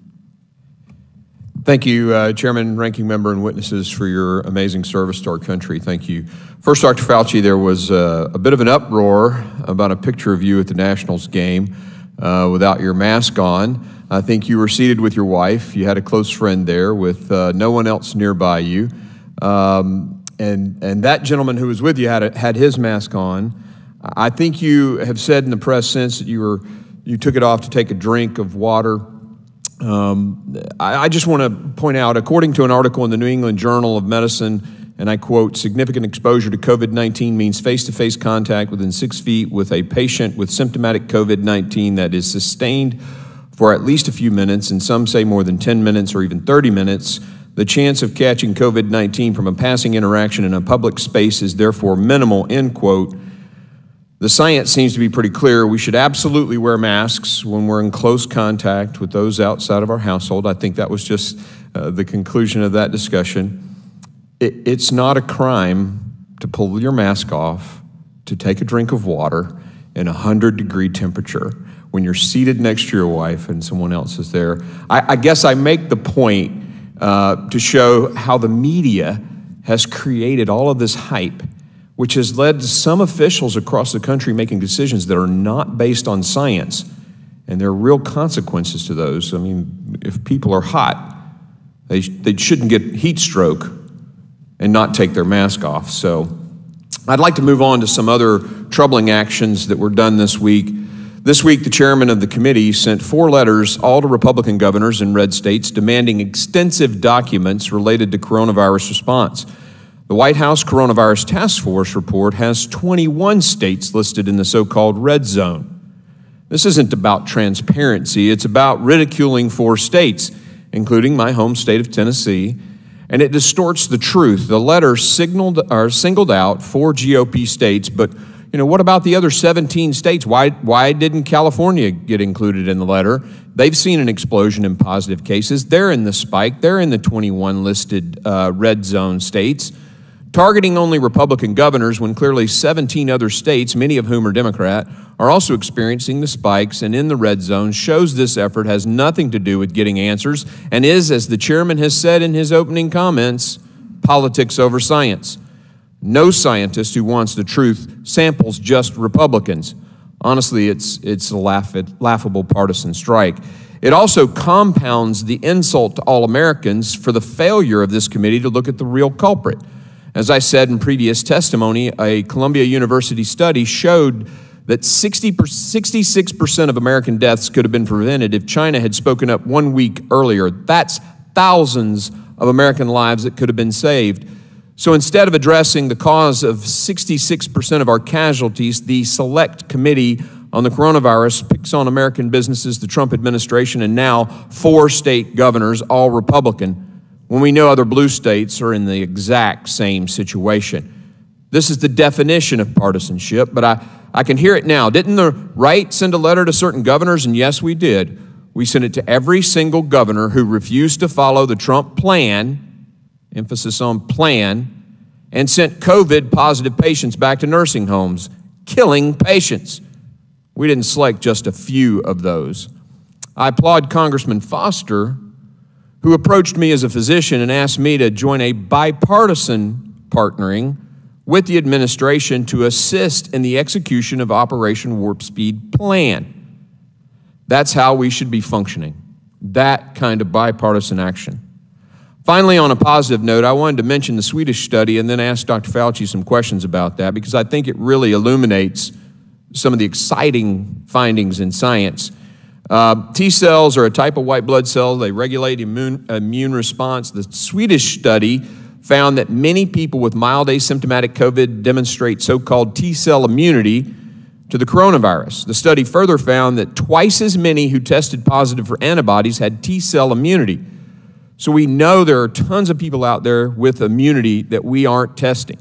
And I'd love for you, sir, if you could comment, educate America, educate all of us a little bit on T cell immunity and what the ramifications are to the plans. Thank you. Thank you very much, sir. I'll very quickly try to answer that. So, there are two limbs of the immune response. One is an antibody, which is a protein that is made by the cells of the body to bind to the virus and is usually the hallmark of protection against infection. There's another limb of the immune response called the cellular immune response of T cells. And those T cells have the capability of essentially suppressing or killing cells that are infected and preventing the cells that are infected from making new viruses.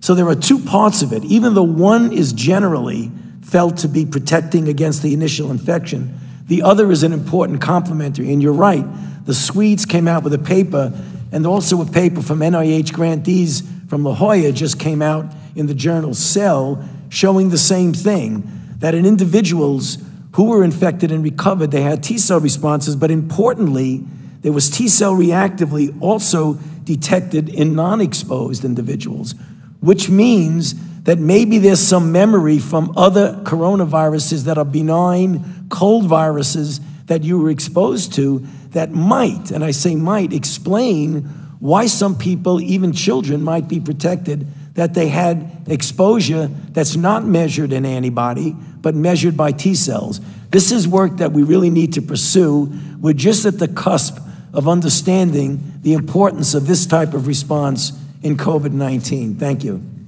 Thank you.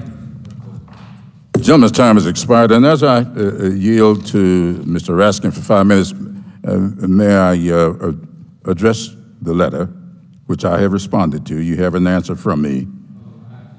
You have not seen the answer? But just, okay, well, just be sure, since you put the letter on the record here, let me put my response on the record. My response had to do with the four states uh, that have refused uh, to comply with the critical recommendations from the task force. And all four have governors who have publicly stated that they do not plan to comply. To contrast to that, we did not send the letter to those states that did indicate that they were will comply with the task force. And that's three of those states had Republican governors, and they did not get a letter from us. So this has nothing to do with partisanship, but with the political response rather than responding to the science and our response to it. With that, I yield to Mr. Raskin for five minutes. Thank you, Mr. Chair, Chairman, for calling this hearing on the urgent need for a national plan. A stack of paper is not a plan. A large and unwieldy stack of paper is not a plan. A plan is a comprehensive and coordinated strategy for victory, and we haven't seen anything like a plan. No one has shown us anything. Blaming other countries is not a plan. Blaming China is not a plan. Blaming China is not even a good excuse for the lethal incompetence and disinformation of President Trump. China's early cover up of the, of the disease only deepens the responsibility and complicity of President Trump, who, on 37 different occasions, as I've demonstrated by submissions to this committee, defended and excused and praised the Chinese government and President A plan is a plan, and we haven't heard what the plan is, and this is what has bedeviled us from the beginning. Mr. Chairman, we've got 4.4 million cases. We lead the world in case count, we lead the world in death count. More than 153,000 Americans are dead right now. 54 million people filed for unemployment benefits. We've seen a one third drop in GDP, a one third drop, unprecedented in economic activity. The chart behind me demonstrates the astonishing and terrifying growth of this disease. It took us 98 days to reach 1 million cases. It took us 44 days to reach 2 million cases. It took 26 days to reach 3 million cases, and it took us only 15 days to reach 4 million cases. Director Redfield when do you estimate we're going to get to 5 million cases? What's next? Thank you, uh, Congressman. I think uh, one thing I've learned about this virus is um, it's not predictable. I will say one thing that's important, that what happens next is really dependent upon if the American public fully embrace what we've asked. If they fully embrace those five steps, uh, we'll get control of this pandemic. Well, I thank you for that, and I thank both you and Dr. Fauci for restating the absolute imperative importance of everybody wearing their masks when they're out in public and everybody maintaining social distance and following the other public health protocols. But the public health officials have been subjected to harassment, and we've even seen some today, have been subjected to ridicule and have been subjected to ludicrous, absurd contradiction. So I want to go through some of the propaganda and disinformation quickly, just as a public service announcement, because America is watching you. And Dr. Fauci, why don't I start with you? Um, are children almost immune to the disease? Just yes or no, because I've got a lot to get through, please. Are children almost immune to the disease? We have to uh, Okay. be a little bit more precise. You mean almost immune? Do children get infected? Yes, they do. Have hundreds of thousands of children been inf- infected? Yes. Hundreds of thousands of children have been infected, so children are not almost immune to the disease. Is COVID 19 going to magically disappear, Dr. Fauci? Uh, I do not believe it would disappear because it's such a highly transmissible virus. It is unlikely that it's going to disappear. Does wearing a mask give people COVID 19? Does wearing a mask give it? No. Okay. Not, not to my knowledge. All right. Is COVID 19 a hoax? No. Um, should people take hydroxychloroquine as a cure for COVID 19? The uh, overwhelming cumulative evidence of properly conducted randomized controlled trials indicate no therapeutic efficacy for hydroxychloroquine. Can, can people cure themselves of COVID 19 by injecting themselves with disinfectant no. or bleach? I'm sorry? No. Um, are you safe from the disease if you go to one of the aforementioned large assemblies, crowds, demonstrations uh, without a mask on and not observing social distancing if you sign a waiver that you won't sue the sponsor of the event? I'm, I'm not so sure those things are connected, but I'll repeat what I've said multiple times that being in a crowd, particularly without a mask, is a risk for acquisition and transmission. Okay, so but signing a waiver doesn't confer any kind of immunity on you from from being uh, infected by the disease. No, of course okay. not. All right, um, Dr. Fauci. Um, the European governments are in a completely different place. They've got the disease on the run. In fact, the Asian countries have the disease on the run. Uh, I saw some remarkable figures. Uh, almost every other country on earth is doing far, far better than the United States, except for Brazil, whose president has followed President Trump's policies. But we have 153,000 dead. Canada, our next door neighbor, has uh, less than 9,000. Uh, we have 17 times the number of, of, uh, of deaths from it. China, uh, which of course is much larger than the United States, has lost 4,661 people. We've lost 153,000 people. We, our rate of death is 36 times higher than China, and on and on. Do we have the financial resources and the scientific expertise in America to do what other governments have done to bring the infection rate down to something manageable so the end is in sight of this nightmare? I believe we do have the tools, and certainly there's been a considerable degree of financial investment. So, what is the difference? What, why are all of the other countries defeating the disease and we're not? Why do we not have a plan, a strategy for victory to win, to beat COVID 19? Well, I believe I addressed that in not only my opening statement, but also in response to the question of one, the congressman. And that is that when you look at the comparison between Asia and Europe, as is shown by the chairman's poster up there, that when they shut down, they shut down to the tune of about 95%, getting their baseline down to tens or hundreds of cases per day. So, whereas when we did it, we got it down, but unfortunately, our baseline was 20,000 a day. All right, so we're getting somewhere, but would you agree with me that the critical difference is either the presence or the absence of social cohesion and political leadership to actually develop a plan, execute it, and stick to it? I think there was such a diversity of response in this country from different states that we really did not have a unified bringing everything down. Yes.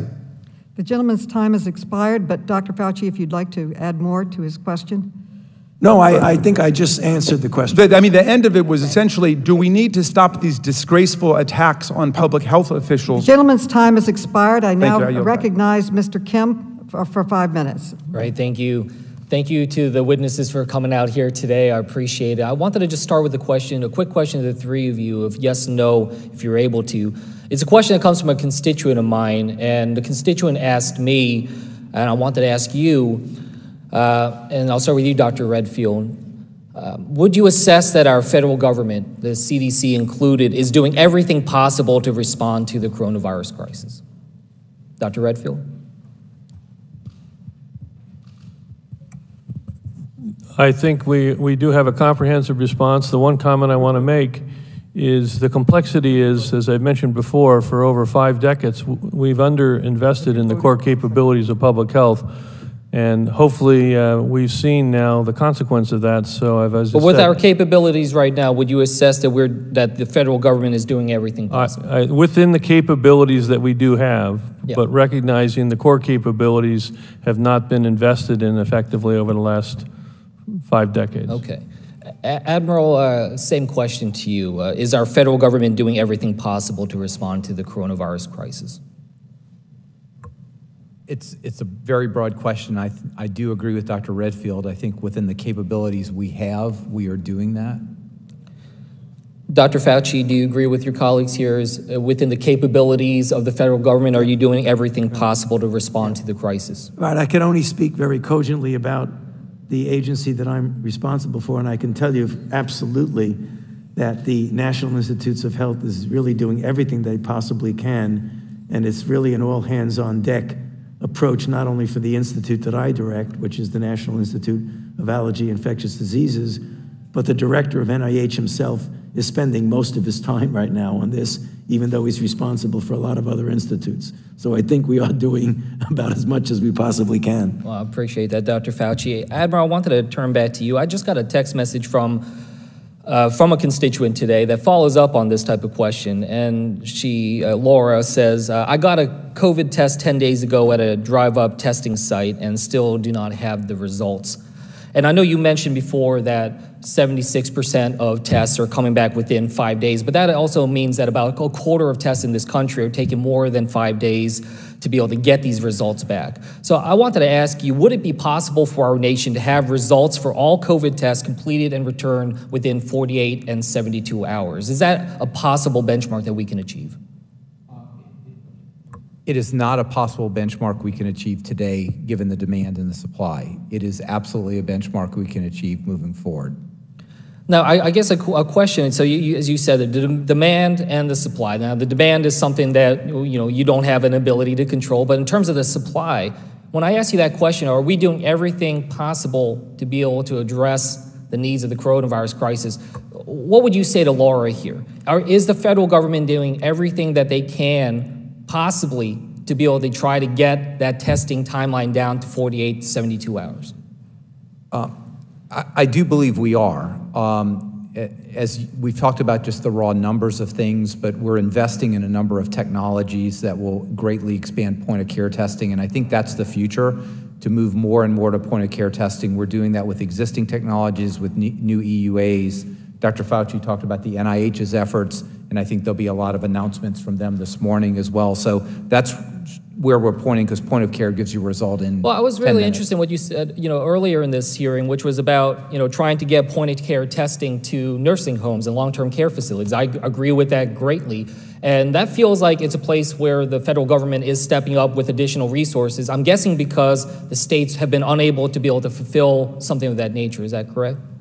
We, we always wanted to do that, but we did not have the physical technologies that were available. With the recent approval of a second point of care instrument and the manufacturing, we were able to do that. We were not, and it's literally as soon as that happened, we put that into, into gear. And I, I just wanted Well, to what, correct. intri- yeah. what, what interests me about that is that this is a situation again where when it comes to tests, I keep hearing that you know this is states' responsibility to kind of take the lead on this. But with the long-term care, it seems like this is a place where the federal government is stepping in and trying to surge resources to be able to. So this has always been a collaborative relationship, right? So the federal government buys all the swabs and tubes of media. We deliver that to the states. We buy 40% of Abbott ID nows, deliver those to the states.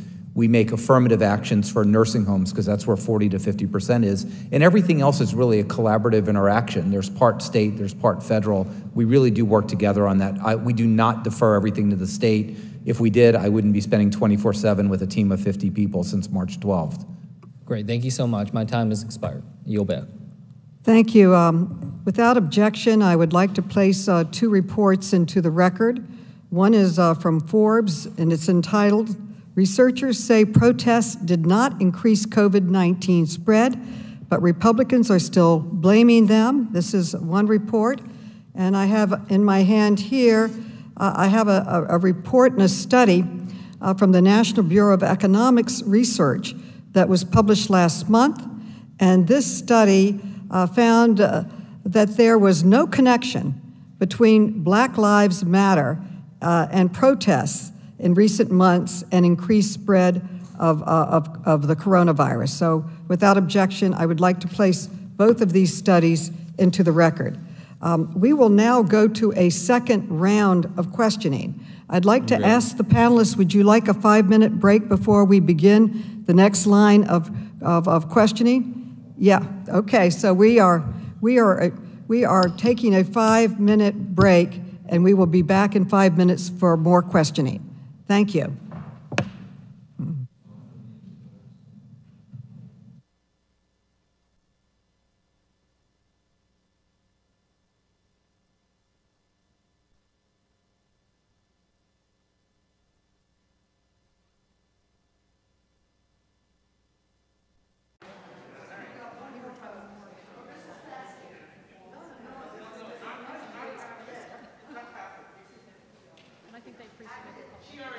All right, so you have been listening to uh, government, top government officials, health officials on the uh, administration's coronavirus task force. The director of the CDC, of course, Dr. Anthony Fauci, as well as the Assistant Secretary for, for Health. They are speaking in front of a select subcommittee on the coronavirus, testifying on uh, the country's response and the country's response moving forward. They're taking a bit of a break. Coming up afterwards, though, we're going to talk to Dr. Bob Lahita about what we've heard so far, the latest latest on the coronavirus news. Also, want to alert you uh, to some of the other things happening. The White House press secretary, Kayleigh McEnany, she's having a press conference right now, so we're keeping an eye on that to see if anything uh, newsworthy comes out of it, as well as Nancy Pelosi, also Speaker of the House, having a press conference, keeping an eye on that as well. For now, though, we're going to take a quick break. Oh, we're not going to take a break. All right, so we're going to continue to uh, sort of keep the ball rolling in the air. As for this subcommittee meeting, sort of um, at the core of it all is sort of whether or not we need to come together with some sort of a national response moving forward. Um, we may have noticed that, you know, part of the way this country has sort of dealt with the coronavirus is a little bit of a piecemeal way, state by state by state. The end result has been some states that were peaking early on, like New York, have managed to get a handle on the spread of the virus, while now in other areas of the country, Texas, Arizona, Florida, they're seeing incredible spikes in cases, hospitalizations, and deaths. And some have argued that part of the reason for that is because we did not have a national um, strategy to combat this pandemic. So, what the panel wants to know is moving forward, is that what we need? Um, a lot of schools are opening. Many school districts are essentially um, making up their own guidelines, looking to the CDC for direction, but then they're sort of left to figure it out on their own. Are they going to be 100% virtual? Are they going to be 100% children in the class? And depending on the school that your child goes to, uh, you might find a different response. So they're looking at that. They're looking at um, the various uses of therapeutics, whether or not we are st- still dealing with uh, a, a, crisis and a, sh- shortage when it comes to equipment, PPE, uh, beds, all of these things, and whether we need to maybe look at a different approach moving forward.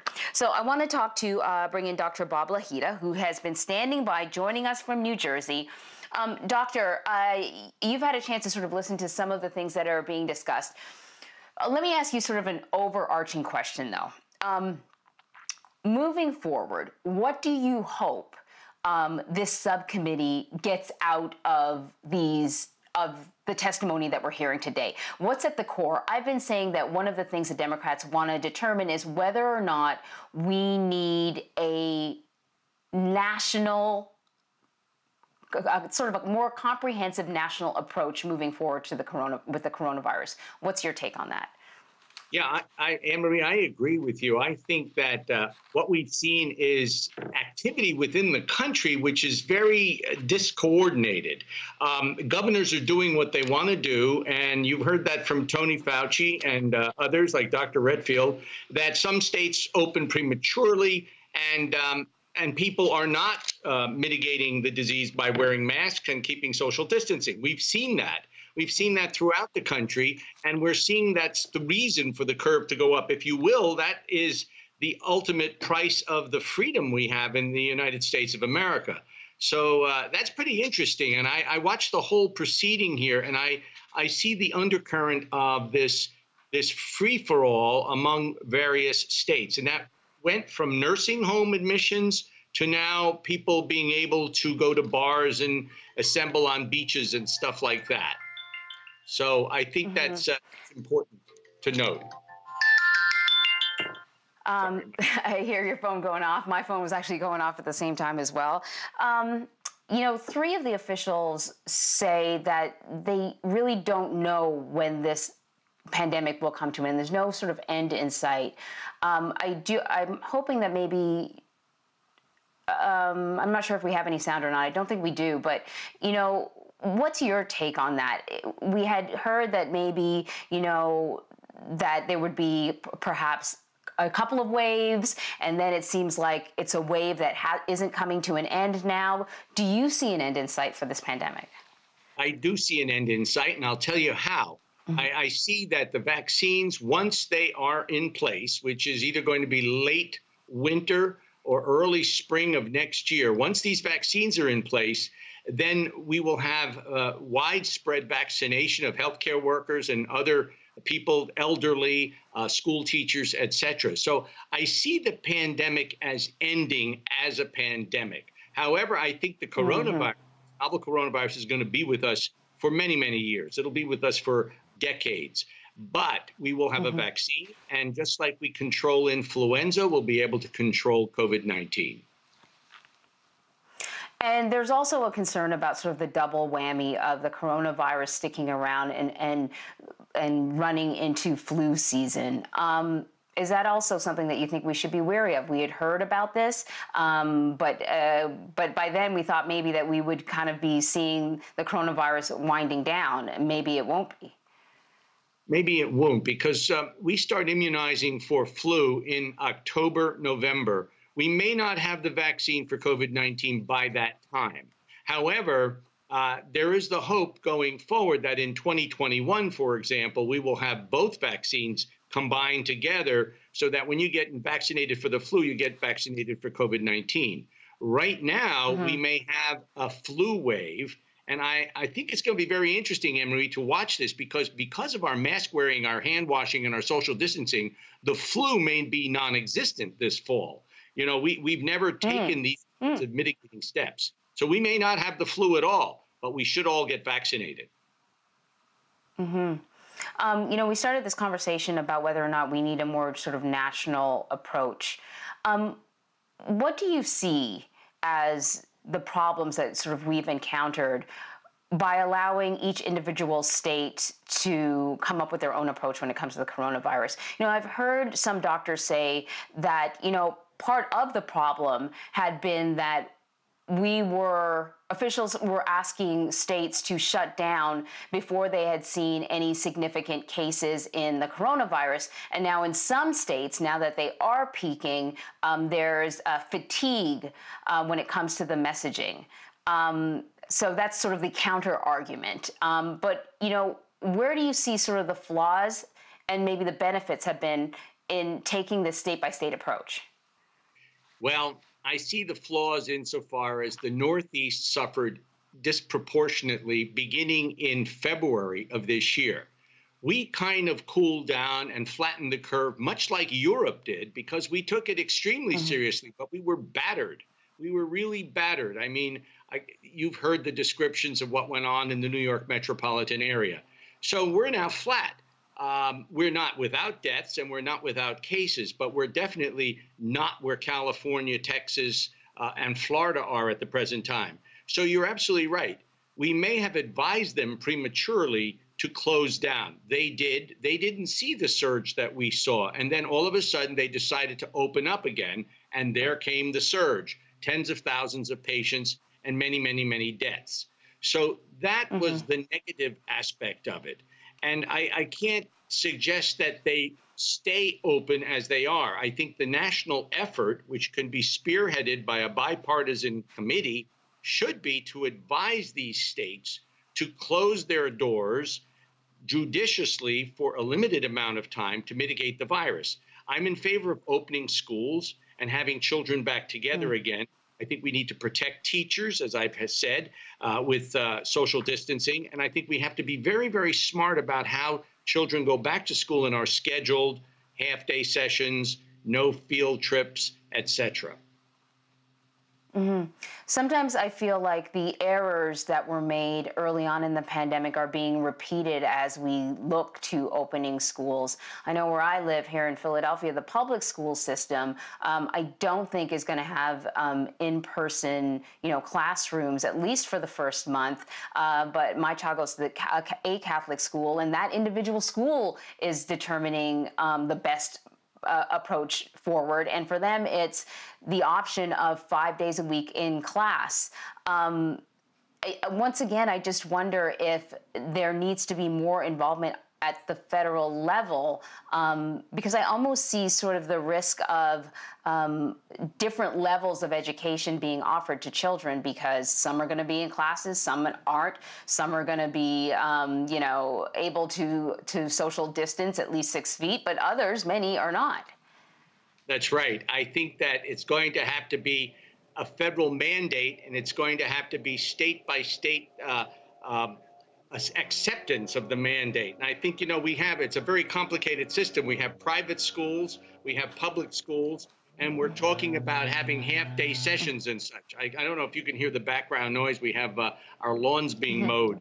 Um, but this is definitely going to be, um, uh, it's, it's definitely going to have to be state by state and region by region. But we are very, very, it's very important that teachers feel safe going back. I have had many patients call me who are teachers who will not go back to teaching because they are either compromised or they feel unsafe. So there's no state or national mandate regarding or a policy regarding schools, school teachers, and students accepting certain uh, roles. So it looks like the hearing's going to resume shortly. What do you want to see them talking about? Well, I want to see them uh, being a little bit more bipartisan. I think they put Tony Fauci on the spot, uh, which is mm. okay. He answered it to the best of his ability. I think that they should be talking about some kind of cohesive national plan going forward. And I'd like to see that. I'd like to see people not attacking each other from the standpoint of Republicans versus Democrats, et cetera. Mm. Hmm. Um, yeah. And are there any sort of particular topics that you think really need to be addressed? I think the topics that have been addressed are been sub- significant, and that's the vaccines. I think the uh, the topic of going back to school has been addressed. I think the opening of bars and gyms, etc. And I would mm. agree, crowds, whether they're political assemblages or their protestations, should really stop unless everybody is wearing a mask or they're socially distant. I think that's been pounded into the ground a little bit, but I think more bipartisan. This is a national crisis and it should be handled in a national way uh, with both parties mm-hmm. agreeing with each other. Mm-hmm, mm-hmm. Um, so, you know, it's funny. You, you'd think at this point we would sort of have been able to take politics out of it. Uh, you know what? I think that the hearing has just resumed, Doctor. So I'm going to wrap it up with you for now. Thank you so much for sort of guiding us through this, and we're going to dip back into the hearing. Okay, Anne Marie, thank you. Uh, do you agree with President's statement, or do you stand by your previous answer that the difference is caused by multiple factors, including the fact that some states did not do a good job of reopening? I stand by my previous statement that the increase in cases was done was due to a number of factors, one of which was that in the attempt to reopen, that in some situations states did not abide strictly by the guidelines that the task force and the White House had put out, and others that even did abide by it, the people in the state actually were uh, congregating in crowds and not wearing masks. Um, I, I might also just answer, uh, bring something that I thought about and mentioned to you before, Mr. Mr. Chairman, that when we talk about crowds and masks, it's always better outdoors than indoors, and crowds indoors is always worse than crowds outdoors. That's the case because of the circulation of air. So we should not, we should avoid crowds under any circumstances, but wearing a mask is the critical issue. Right.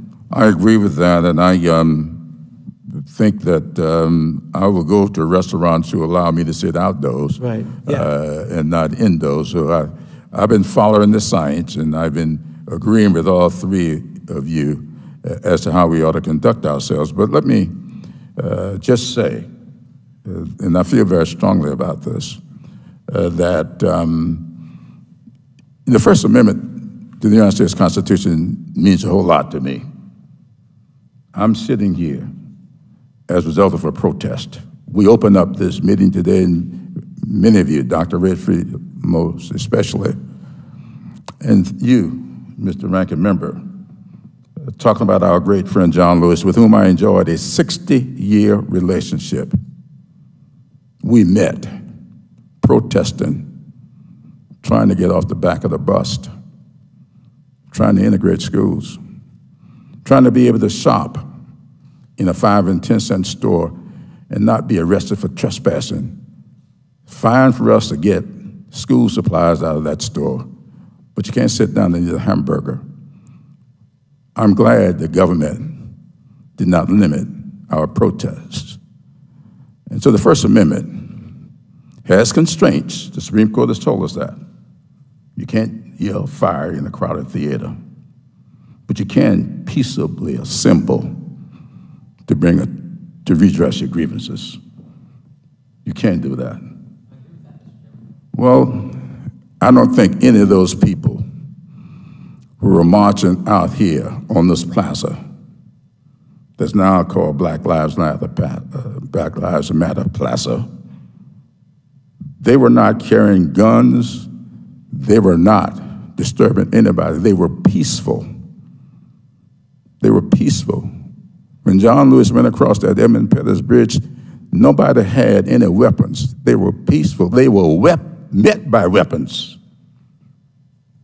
And so I don't want us to get confused here.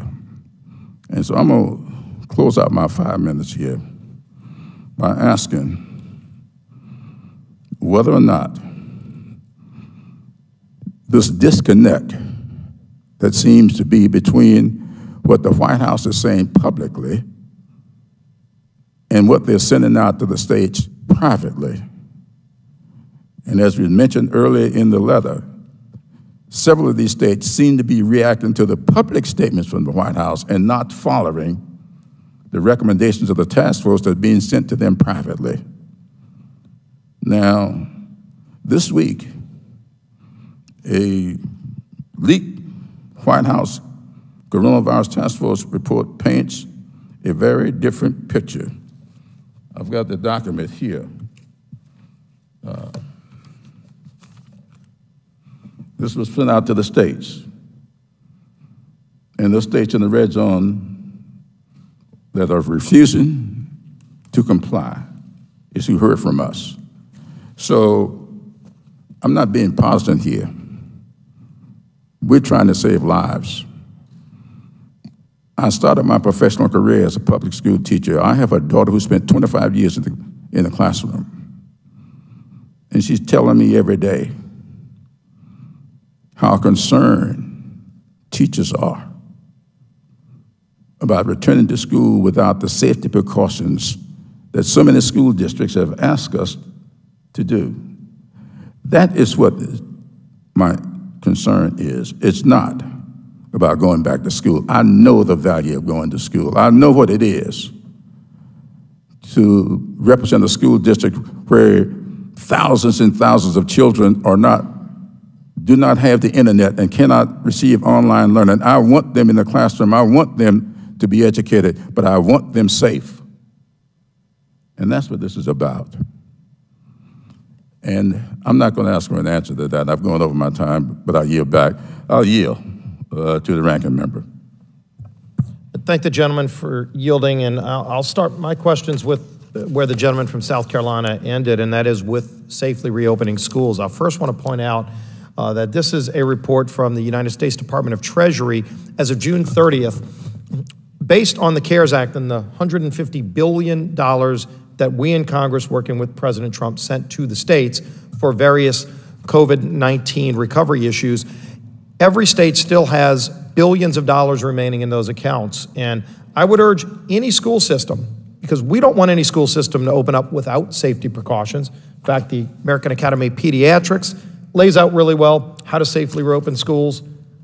The Centers for Disease Control lays out very clearly how to safely reopen schools, and that includes masks, sanitizers, other supplies. Any local school system that wants to claim they don't have the ability to do that, go straight to your governor. Your governor has billions of dollars in their account that we appropriated, sitting there waiting for you to buy supplies. It's fully eligible. We don't need to change a law. Billions of dollars Every state has money for supplies. If you run out, give us a call. But right now, there is money in your state's account to buy supplies, masks, sanitizers to safely reopen. But now let's talk about why it's so important to safely reopen. And I'll ask you, Dr. Redfield, because I know you've got, done a lot of work in this.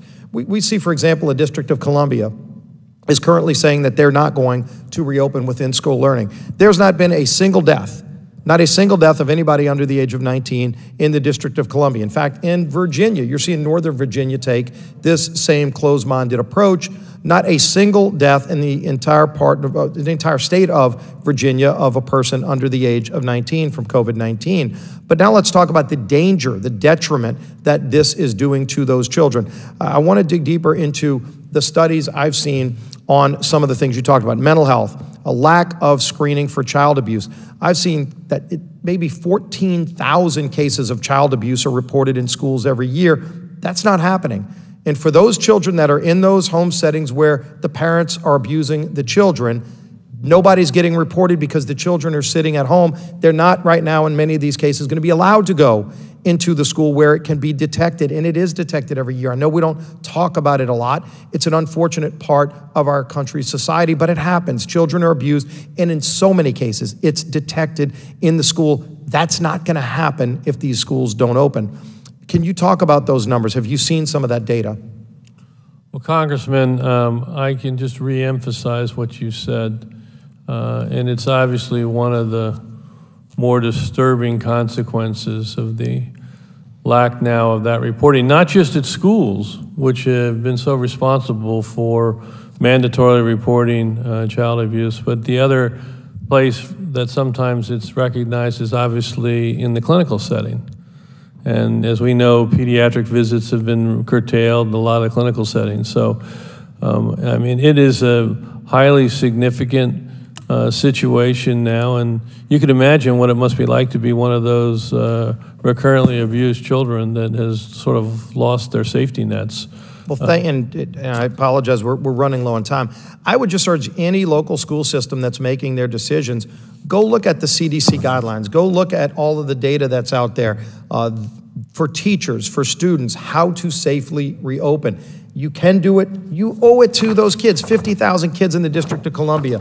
Uh, over 50 million children are counting on us to do this right. It can be done. You have to go do it. You owe it to those kids. They're being denied that opportunity. Don't deny them. If you need money, there's billions of dollars sitting out there for the supplies to keep the schools safe. Go make it happen. Uh, Dr. Fauci, I want to talk to you about Operation Warp Speed. And first, I want to thank you for in your opening statement talking about the over 250,000 people have signed up for those clinical trials. What's that website again if somebody in America wants to be a part of this trial? Coronavirustreatmentprevention.org. Thank you. Now, to ask about, and I know a lot of people don't really know the details, and, and again, of all of these plans that are out there, these are plans. I know some people including some people in this room, disagreed with President Trump's decision to stop flights from China, for example. Uh, as you testified earlier, it was the right decision and it saved lives. I guess they were okay if more lives would have been lost, uh, but that decision saved lives. It was part of a plan. They might not agree with the plan, but the plan saved lives. When we talk about warp speed, I, I do think it's real important to note because some people are concerned that there might be some cutting of corners to get to a quicker vaccine. Clearly, that's not the case. But what President Trump really has done is removed red tape so that agencies like the FDA can laser focus on putting their efforts behind finding a vaccine. President Trump's worked, for example, to make sure that clinical trials can be run simultaneously on the most promising candidates, a very targeted plan to quickly find a vaccine that's safe. So, if you want to talk about Operation Warp Speed, how safe it's been, and how that is helping us uh, to move forward, is red tape being removed by the plan that President Trump yes. has? Yes, it is, uh, Congressman. In fact, as I mentioned, and I'll just reconfirm it right now, is that the speed is not at all at the compromising of safety nor of scientific integrity.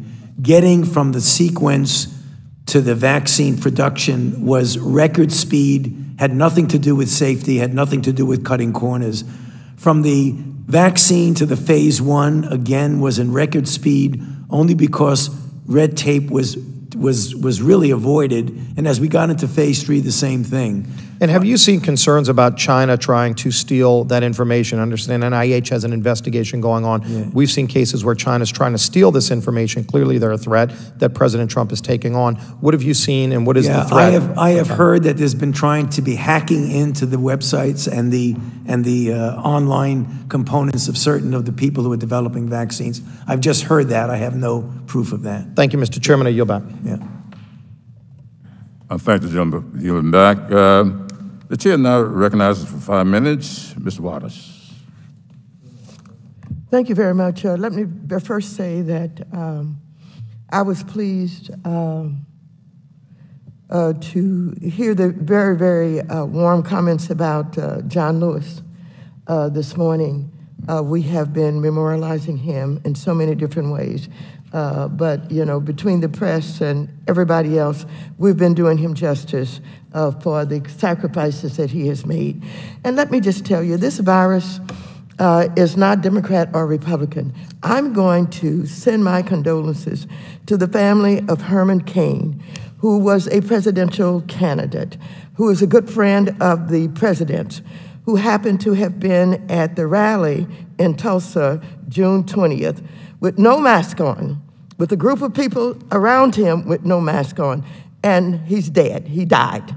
Uh, I'm told that he was in good health and that he, of course, contacted the virus uh, as a result of his attendance and without a mask there.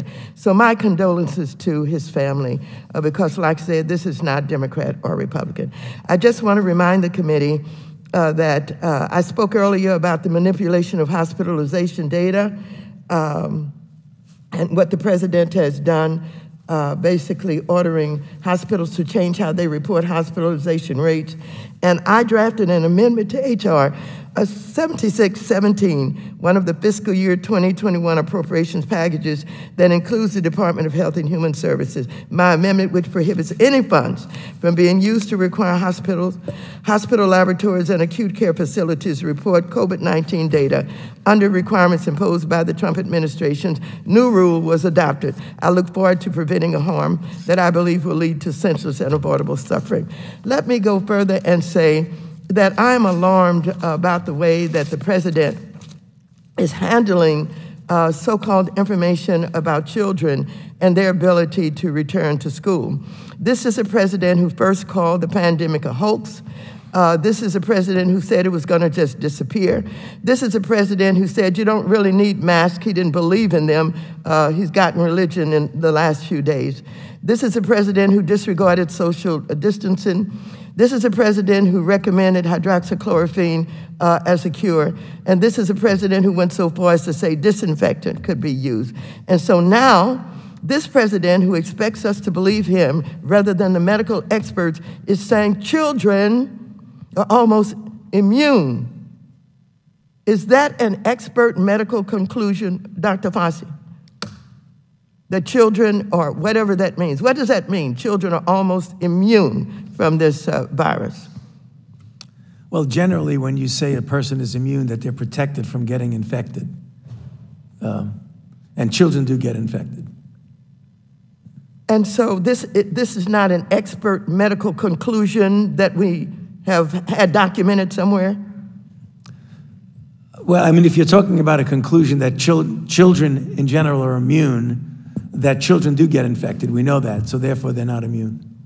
I mean, they, they, they, what, I must just say, uh, Congresswoman, that when children get infected, that when you look at the deleterious consequences, they generally do much, much better because if you look at the hospitalizations, that children have a much, much lower rate of hospitalizations than adults. In fact, the curve goes way up as you get older and older. And when you get to the age group of children, they generally do not get serious disease as much. I understand that, and I've been listening, and I did understand what you just described. But what I was asking really was about this president's latest comment uh, that uh, children are uh, almost immune. And so I think I, I got the answer to that. But let me just say uh, to Mr. Scalise that uh, this billions of dollars that you're talking about in every state, I don't know where they are, but you keep referring to supplies. It's more than about supplies. It's more than about uh, being able to wash your hands.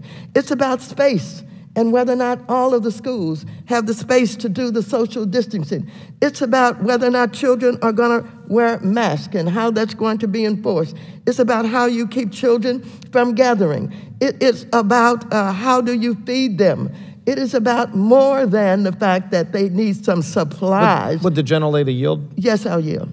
Clearly, that is all part of what is laid out in CDC guidelines and the Center, in the American Academy of Pediatrics guidelines. They lay out those guidelines for how to do all of those things. Okay, reclaiming my time. Usually about 10 feet reclaiming away my from a time. student. Reclaiming my time. Let me just say this: uh, that all of the professionals are saying that this is uh, is a decision that must be made uh, by parents in the communities, uh, with the educators, et cetera, et cetera. You cannot hand down uh, an answer uh, to from the federal government uh, that you know would absolutely protect these children. One one decision by the federal government is not sufficient to force these schools to open. I yield back. I thank you, uh, General for yielding back. Before I go to Mr. Jordan, let me say to Admiral uh, Giroir, I understand you need to leave in four minutes. Would there be anything you'd like to enter into the record before leaving? Uh, No, I, the reason I'm leaving is because we have a, a meeting uh, virtually with all 6,100 of the Commission Corps officers, uh, whom I have the honor to lead along with Surgeon General Adams. Uh, We've done over 7,200 deployments of 4,000 individuals. And let me tell you, the other 2,000 are hard at work taking care of people at qualified health centers of the Indian Health Service or in the prison. So uh, I mean no disrespect by leaving, but this is a time, crunch time for our officers on the front line of the pandemic, and I really appreciate the opportunity to recognize them and also to be with my, with my, my brothers and sisters in uniform. We thank you for your service, and we thank you so much for that. I think you might find me to be the biggest booster in the United States Congress for federally qualified community health centers. I consider them to be the ultimate.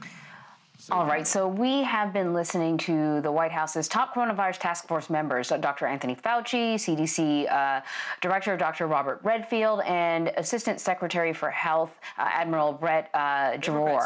Um, they are answering questions from lawmakers on the Trump administration's response to this uh, coronavirus pandemic.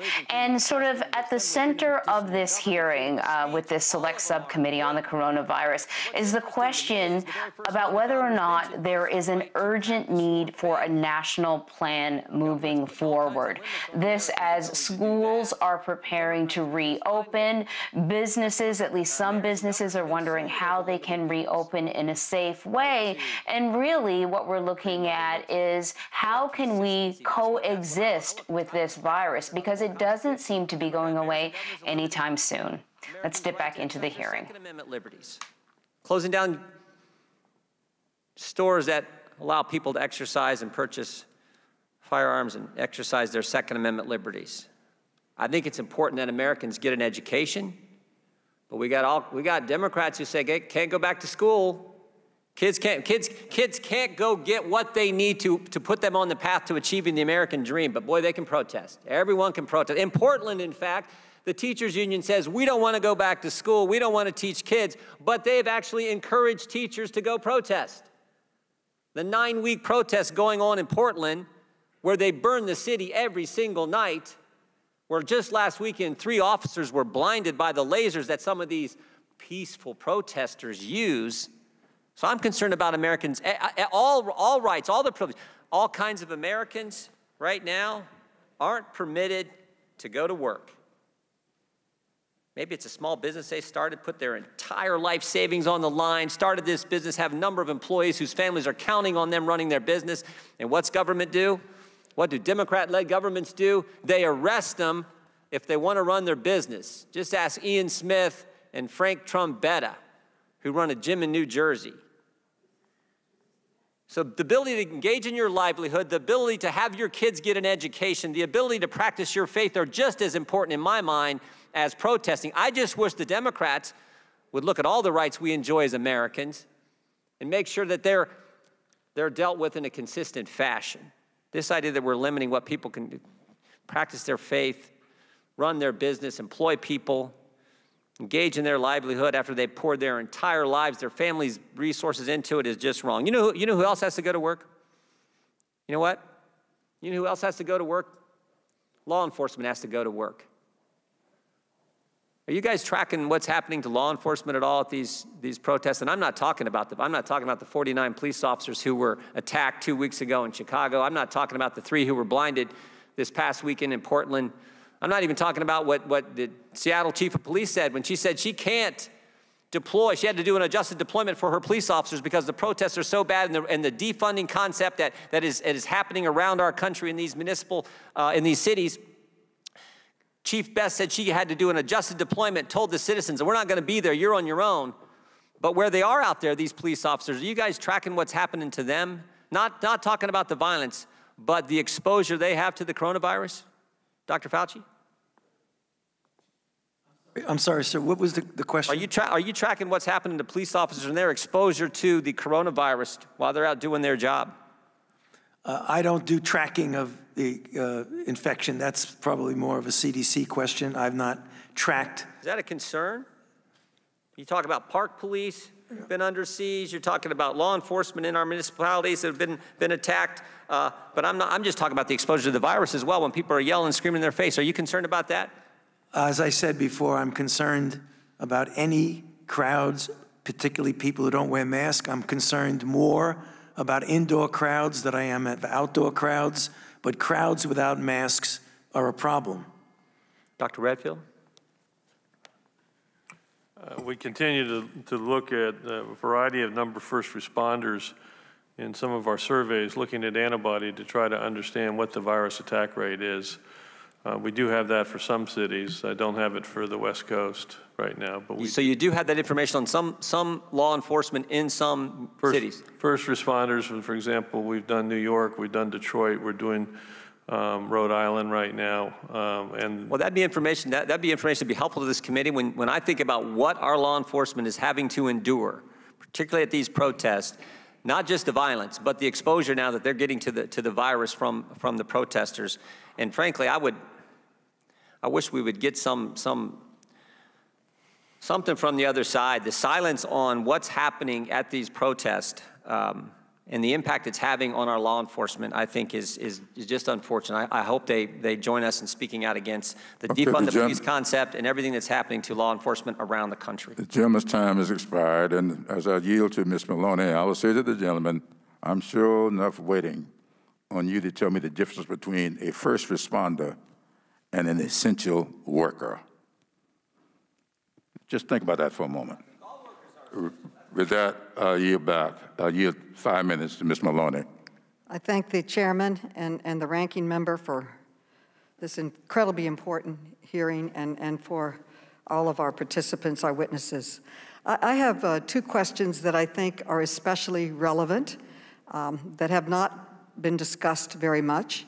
And one is what is the task force doing uh, in, in relation to safeguarding elections? We are going to be all voting in November. Some states have vote by mail, other states do not. And many people prefer to vote in person.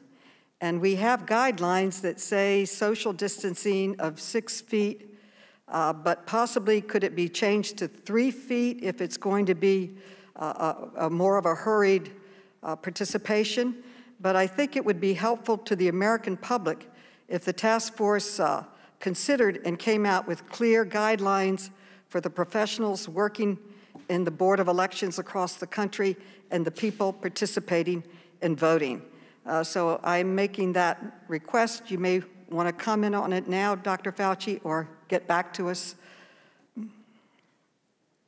I'd be happy to get back to you on that. We could discuss this at a task force meeting if you'd like and, and get back to you, Congressman Maloney. And, and to the public, I would say. Yes. And Congresswoman, if I could just comment, CDC did in March and updated in June uh, guidelines for polling facilities, and we'll obviously be looking at that to see if they need to be updated more. We do have an MMWR coming out this week uh, looking at the uh, primary results in Wisconsin. So this is an area we're trying to make sure the polling centers and people who go to polling centers to vote uh, understand the importance of the guidance we can give. That, that would be very, very helpful. Uh, secondly, as a former teacher, I'm concerned about the contradiction in messaging. You know, as a teacher, we're taught to get your facts straight and then communicate it very simply and directly. So the task force will come out with very important, relevant information, and I, I try to follow it all uh, religiously. But then it's countered by other leaders. And uh, this, I think, underscores or undermines the ability of the public uh, to respond. And maybe you could get back to me on that. But I also want to talk about something that I think is very important that people are really not discussing. And, and that is the turnaround time on testing. Uh, and in New York, we are working very hard, not only in supplying the tests, but we're also trying to trace and isolate. And the professionals working in this area say they have to wait so long, especially if it's a private test, like from Quest or something. The turnaround time is like a week or 16 days in some cases. So then they can't really trace because by the time they get the results of the test to start tracing and isolating, it's too late. So I'd like both of you to comment on it. This is something that uh, my city's working very, very hard to respond professionally to everything you're recommending. Uh, but they tell me they're having a terrible time trying to implement uh, the, the tracing and the isolation, uh, and they nail it on the turnaround time from the test is too slow.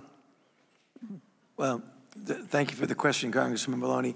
Um, Admiral Giroir had actually addressed that, but uh, maybe I could just summarize what he had said uh, both in his opening statement and upon response to a question.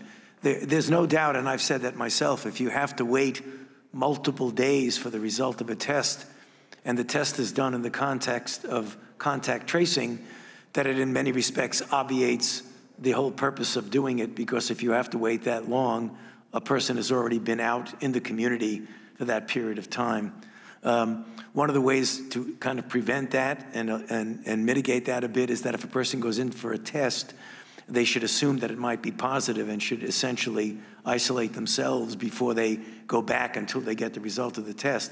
But in response to that, as Admiral Giroir had said, the reason for that is that there's such a surge of demand for tests that they're trying to overcome that by trying to separate the testing for surveillance and give it, for example, to one group and let the testing that has to do to determine if an individual is infected to be able to cut that down.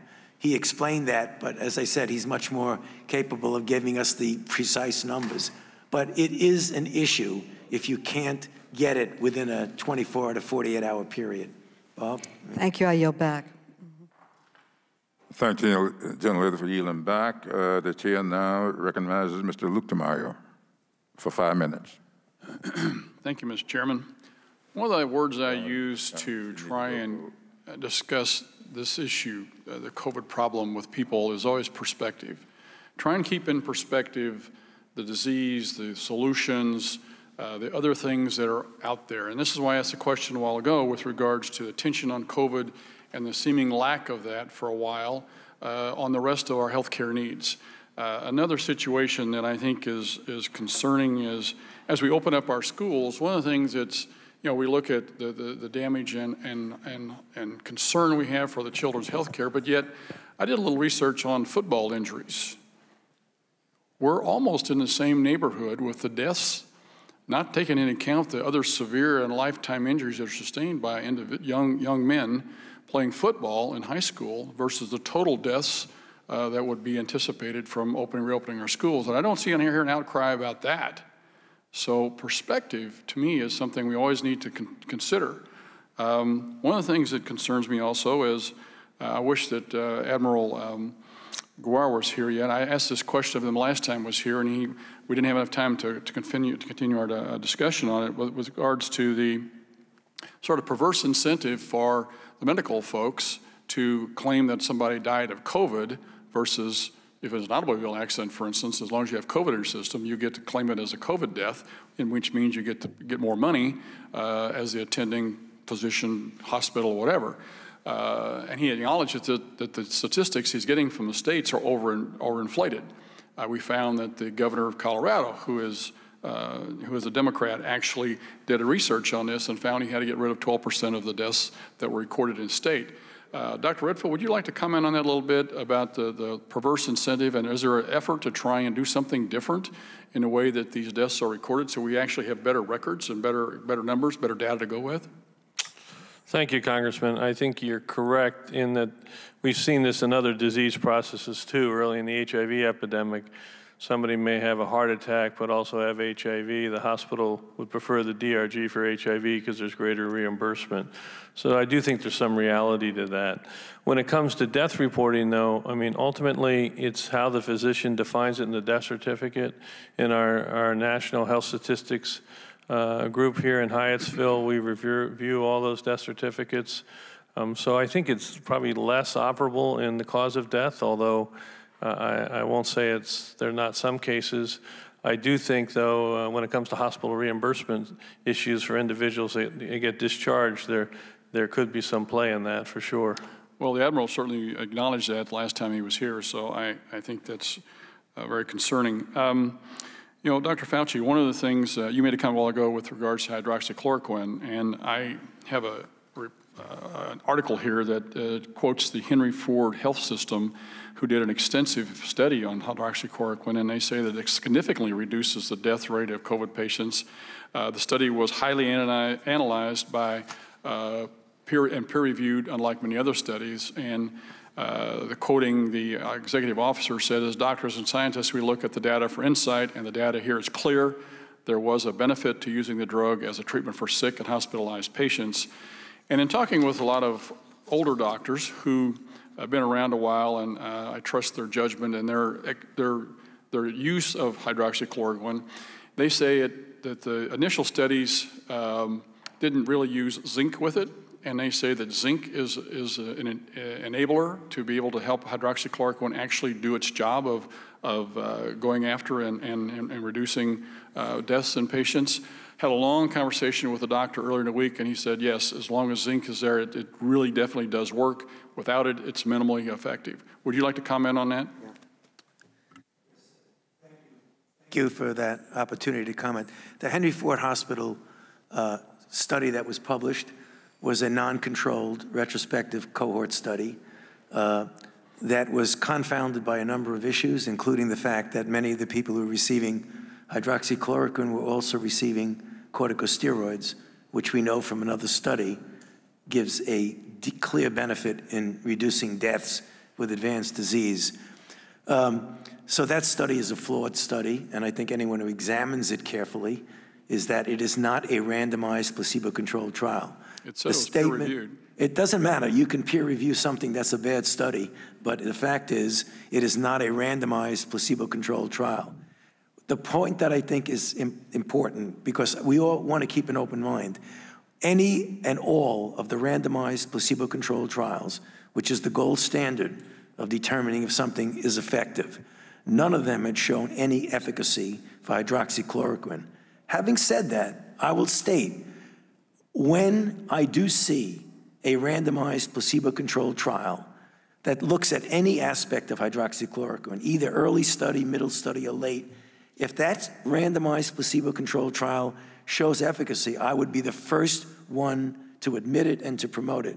But I have not seen yet a randomized placebo-controlled trial that's done that. And in fact, every randomized placebo-controlled trial that has looked at it has shown no efficacy. So I just have to go with the data. I don't have any horse in the game one way or the other. I just look at the data. Thank you very much. The gentleman's time has expired. The chair now recognizes for five minutes Ms. I'm sorry, Ms. Velázquez.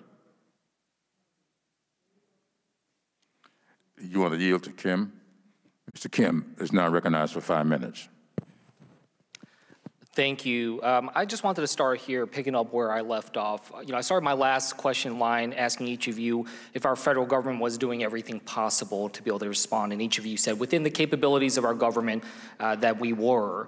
Uh, the reason why I wanted to address this is when we talk about a, a national testing strategy or greater coordination on personal protective equipment, what I've heard over and over again is that you know that it's about where the responsibility is. Is this the responsibility of the federal government or the responsibility of states or localities? And when I talk to the people in my district, what they want to know is about capabilities. And they, they really don't want to just see this kind of blame game between different parts of our government. And the main thing they want to ask is, are we doing everything humanly possible to be able to address this crisis? And is every level government, including the federal government, doing everything that they can to do this? And if we are not, the American people deserve to know why. So, Dr. Fauci, I wanted to go back to you here because I, just, just to be clear, when, when I asked you this and you said that within the capabilities that we were, I want to ask you, would you say that our response at the federal level to this crisis, would this be considered in your mind, withdrawing on all your expertise, is this the gold standard of responses that our federal government can do? Is there nothing else that you can think of from your expertise and experience that we could be doing or should be doing that we're not already doing? I think I just have to repeat what several of us said that within the context of what we have, what's available to us, we're doing everything we possibly can. And I'll just repeat what I said clearly the thing that I am responsible for. We are doing everything that we possibly can. Absolutely. And within what you see with, the, uh, with your position on the yeah. task force, for instance, would you, are you confident in the level in which we're using the Defense Production Act to be able to bolster production? You know, that's something that's really out of my realm, Congressman, about, about the extent and the implications of the Defense Production Act. What about when it comes to, you know, we have these federally, we had federally backed test sites that we had stood up at 41 across right. the country, but they've been handed over to states. Are you confident that that was the right move, that we shouldn't be standing up more federally backed test sites that are run by the federal government right now? I'm sorry, I'm, the question, I'm... The federally backed test sites that we had stood up, 41 of them across this country, we've been handing them over to the states instead of yeah. continuing this in the federal government's control. Do you feel like that's yeah, the right decision? I, I, I don't think I could give a really good answer to that because that's not something that I get involved with. So I don't know, maybe Bob, you have any further information about federally funded testing sites because that's out of the purview of what I do. Dr. Redfield, do you have any thoughts on this? Well, I think it was important to, uh, as the chairman alluded to, to begin to enhance and transfer this capacity to these uh, federally funded health clinics and to increase that capability. Um, it is a partnership. Um, so I, th I think that th these were appropriate moves. I do think when you ask, are we doing everything that we could do? Um, there's two things I'd like to say. One is don't miss this opportunity to realize how important it is to make the investment in the core capabilities of public health for the future. Because clearly, we were handicapped when this outbreak started, and we don't need to have that happen again. Secondly, I don't underestimate who ultimately is the most important in helping us um, beat this pandemic, and that's the American public themselves. Um, I get, look, I, I, get that, and but I, I find that to be a, a, frustrating narrative too, because it, certainly all individuals have to take on some responsibilities to be able to do this, but that feels like we're pushing it off to them. And it feels like that, that the responsibility is now being pushed to the American people coming out from that. And for instance, you know, as you know, Congress, we passed legislation back in April that includes $25 billion in additional funding for testing and tracing. I'm still hearing that a lot of that hasn't been used. So I wanted to ask you if you have knowledge of how much of money of, has been, hasn't been spent on this and whether or not the OMB or any other part of the government is holding up access to be able to do that so we have the capabilities and the resources to be able to continue to increase our capabilities. Yeah, it's important, Congressman. Of that money, of that $25 billion, which is a significant amount of money, uh, $10 billion, $250 million came to CDC. Uh, and we got that money out to the states, tribes, local, um, and uh, county health departments literally within uh, two, three, four weeks, and that's been all distributed.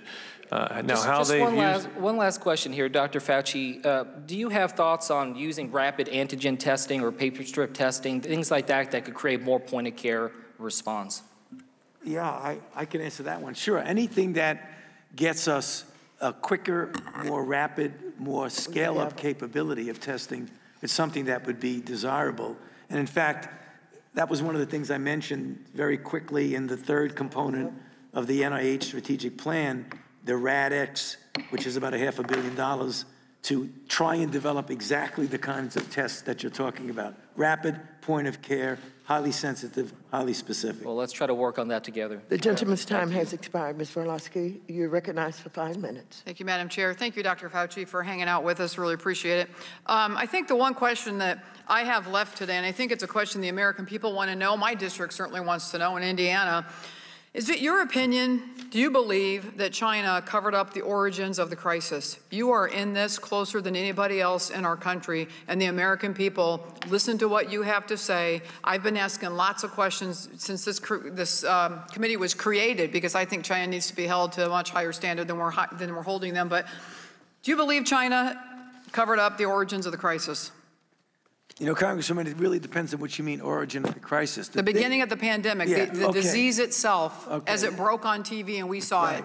Well, I, I think uh, from what we know, and I'm sure Bob can also comment on that, from the conversations that we had early on, it was led to believe that early on that this was jumping from an animal to a human in the context of the wet market in Wuhan, and that it was inefficient virus that just jumped from an animal to a human and didn't necessarily spread very well from human to human.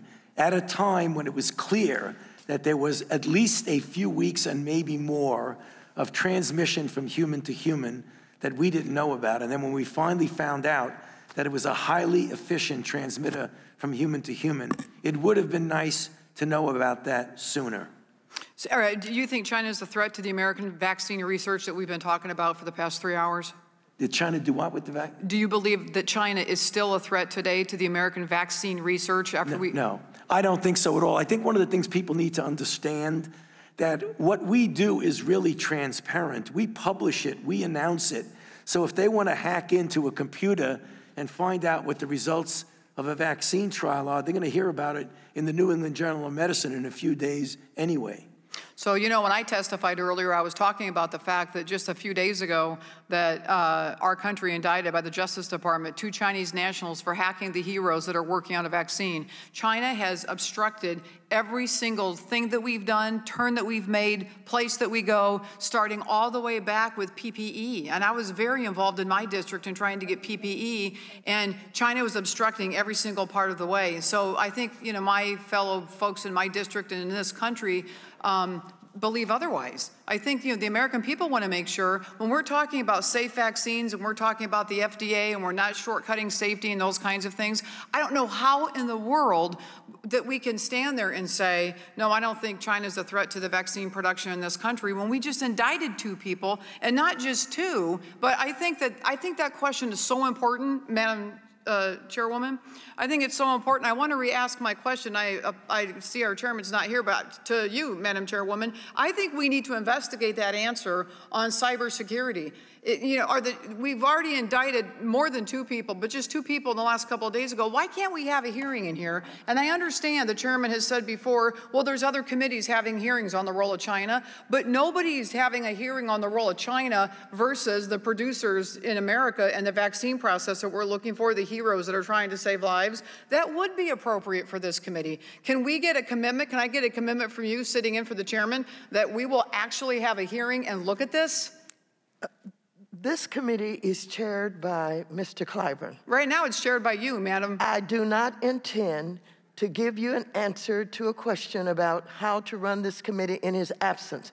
You may address him when he returns, not me. I appreciate that answer, and I will. But I think, for the record, um, I think we still are owed an answer as to why we can't look at that in this committee. There's no other committee set up to look at the vaccine process of oversight than this one, especially having you gentlemen here today. So I would uh, yield back my time and add that for the record. Thank you, Dr. Fauci.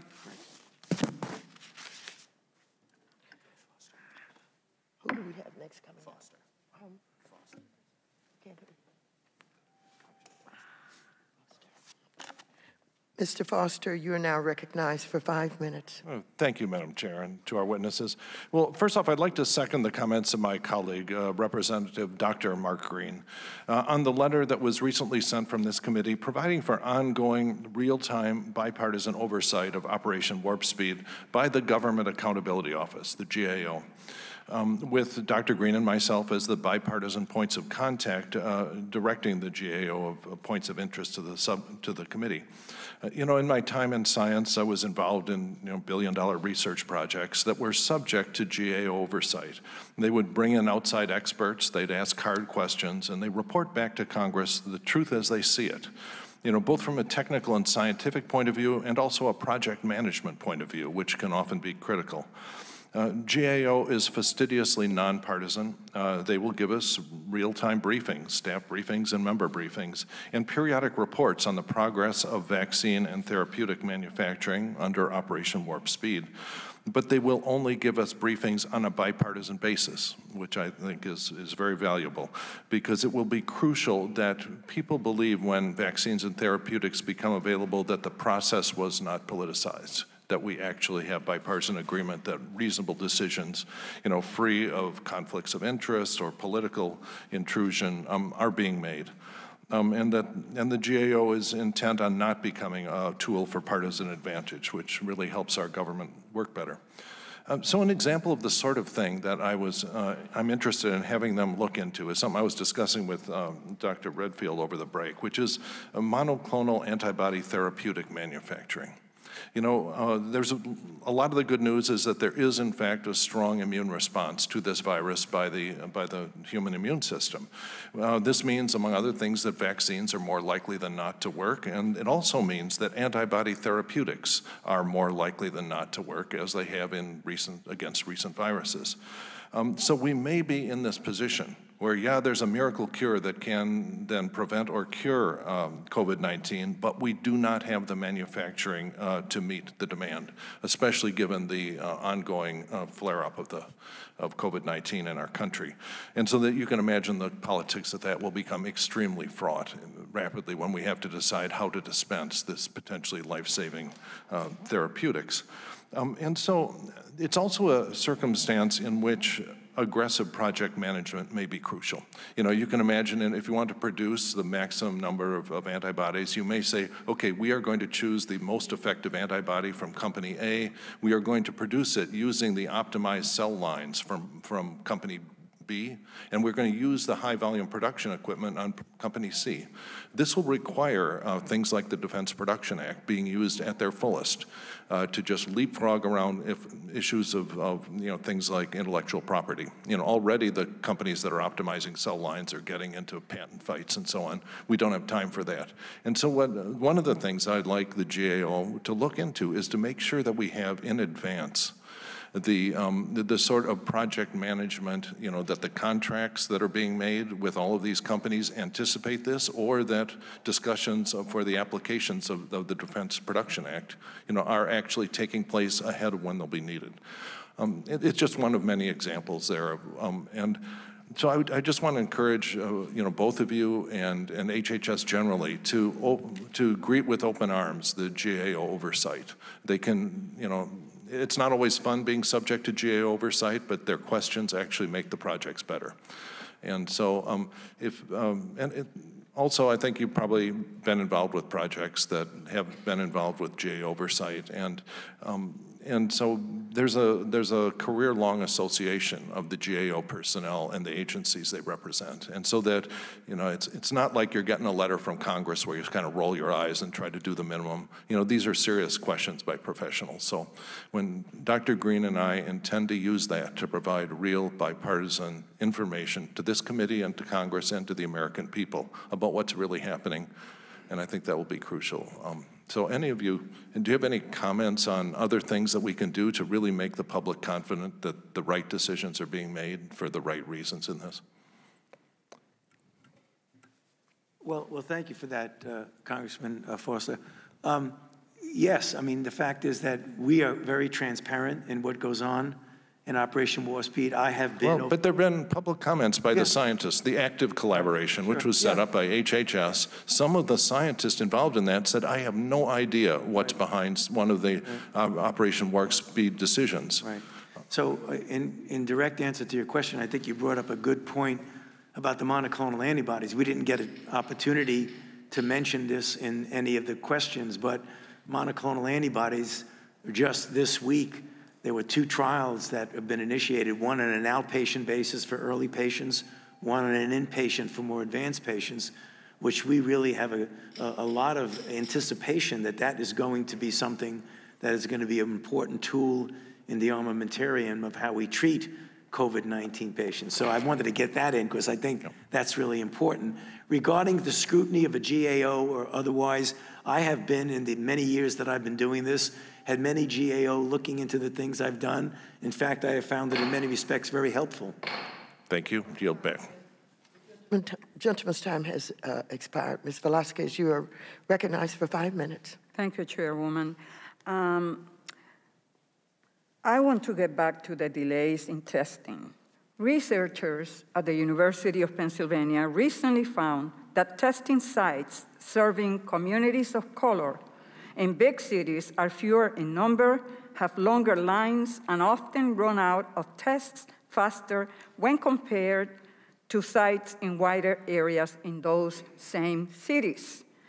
As former Federal Reserve chairs Ben Bernanke and Janet uh, Yellen told the Select Committee, nothing is more important for restoring economic growth than improving public health. Yet we have the president that says, slow down testing, please.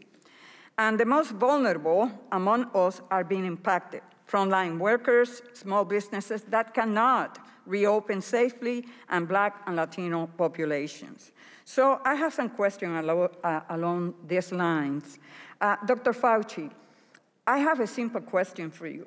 Do you attribute the, this inability to control the virus to the delays in testing and contact tracing? Thank you. Control of the virus is, is clearly a multifaceted process that involves many things the most important of which is what we were just speaking about before about testing, about masks, crowds, outdoor versus indoor, distances, et cetera, et cetera. We've been through that multiple times during this hearing. Testing is a part of the process, but the process of controlling infection, when you're talking about contact tracing, obviously you need testing, and you need testing back within a reasonable period of time. And the concern that you're expressing is for the days that it takes. And Admiral Giroir has addressed that several times during this hearing. But testing is a part of the comprehensive approach Not the only thing, but as part of the approach. Thank you. South Korea had uh, rapid results for testing and tracing, and the virus is essentially uh, contained there or gone. Do you agree that what they did with respect to testing helped those countries get the virus under control? Virus in the control of some of the Asian countries were due to a number of factors. Their ability to shut down almost completely, as I mentioned in a remark before, to the tune of 90 plus percent. Did they rush to reopen the economy? No, they shut down. They had the capability because they got down to a very low baseline to do adequate identification, isolation, and contact tracing. Right now, they are trying to reopen. It's going to remain to be seen how successfully they do that. So, um, for the record, uh, does testing result in the U.S. seeing more COVID cases as or are other factors causing the spread? Does testing result in the U.S. seeing more COVID cases or are other factors causing the spread?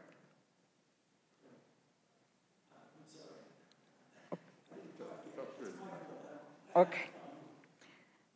So, are we seeing more COVID uh, 19 cases in the US because of the testing results?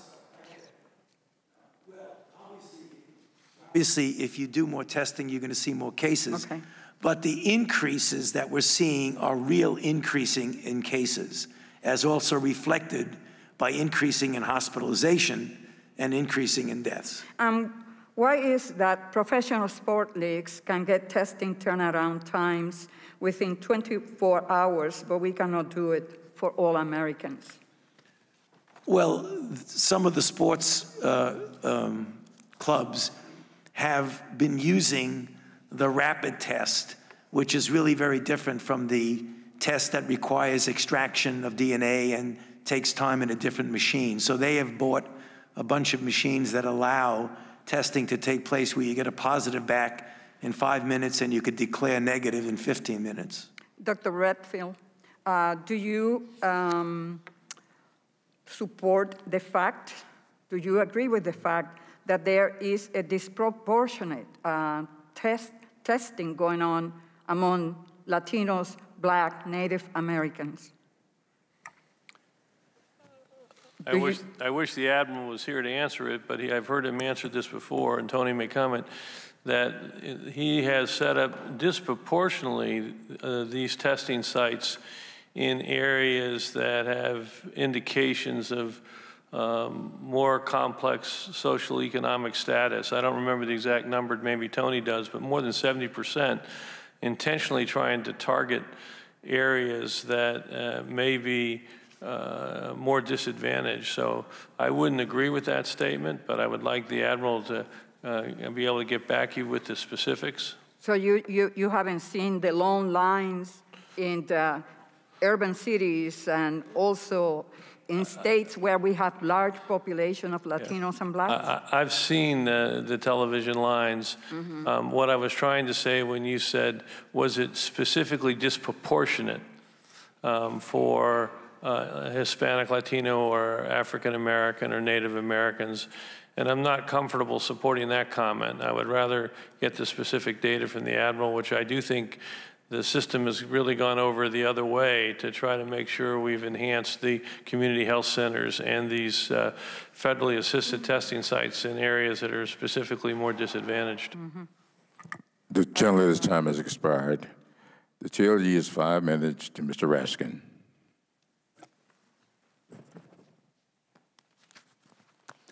Thank you very much, Mr. Chairman. And if you're trying to still figure out why the administration and our Republican colleagues cannot formulate a plan of action, look no further than the disgraceful diversions and distractions of some of our colleagues today. Uh, I want to address the, the First Amendment line of questioning first. Uh, our distinguished colleague from Ohio keeps raising, for some reason, the Supreme Court decision in South Bay United Pentecostal Church versus Newsom, which rejected his position just about six weeks ago in a five to four decision.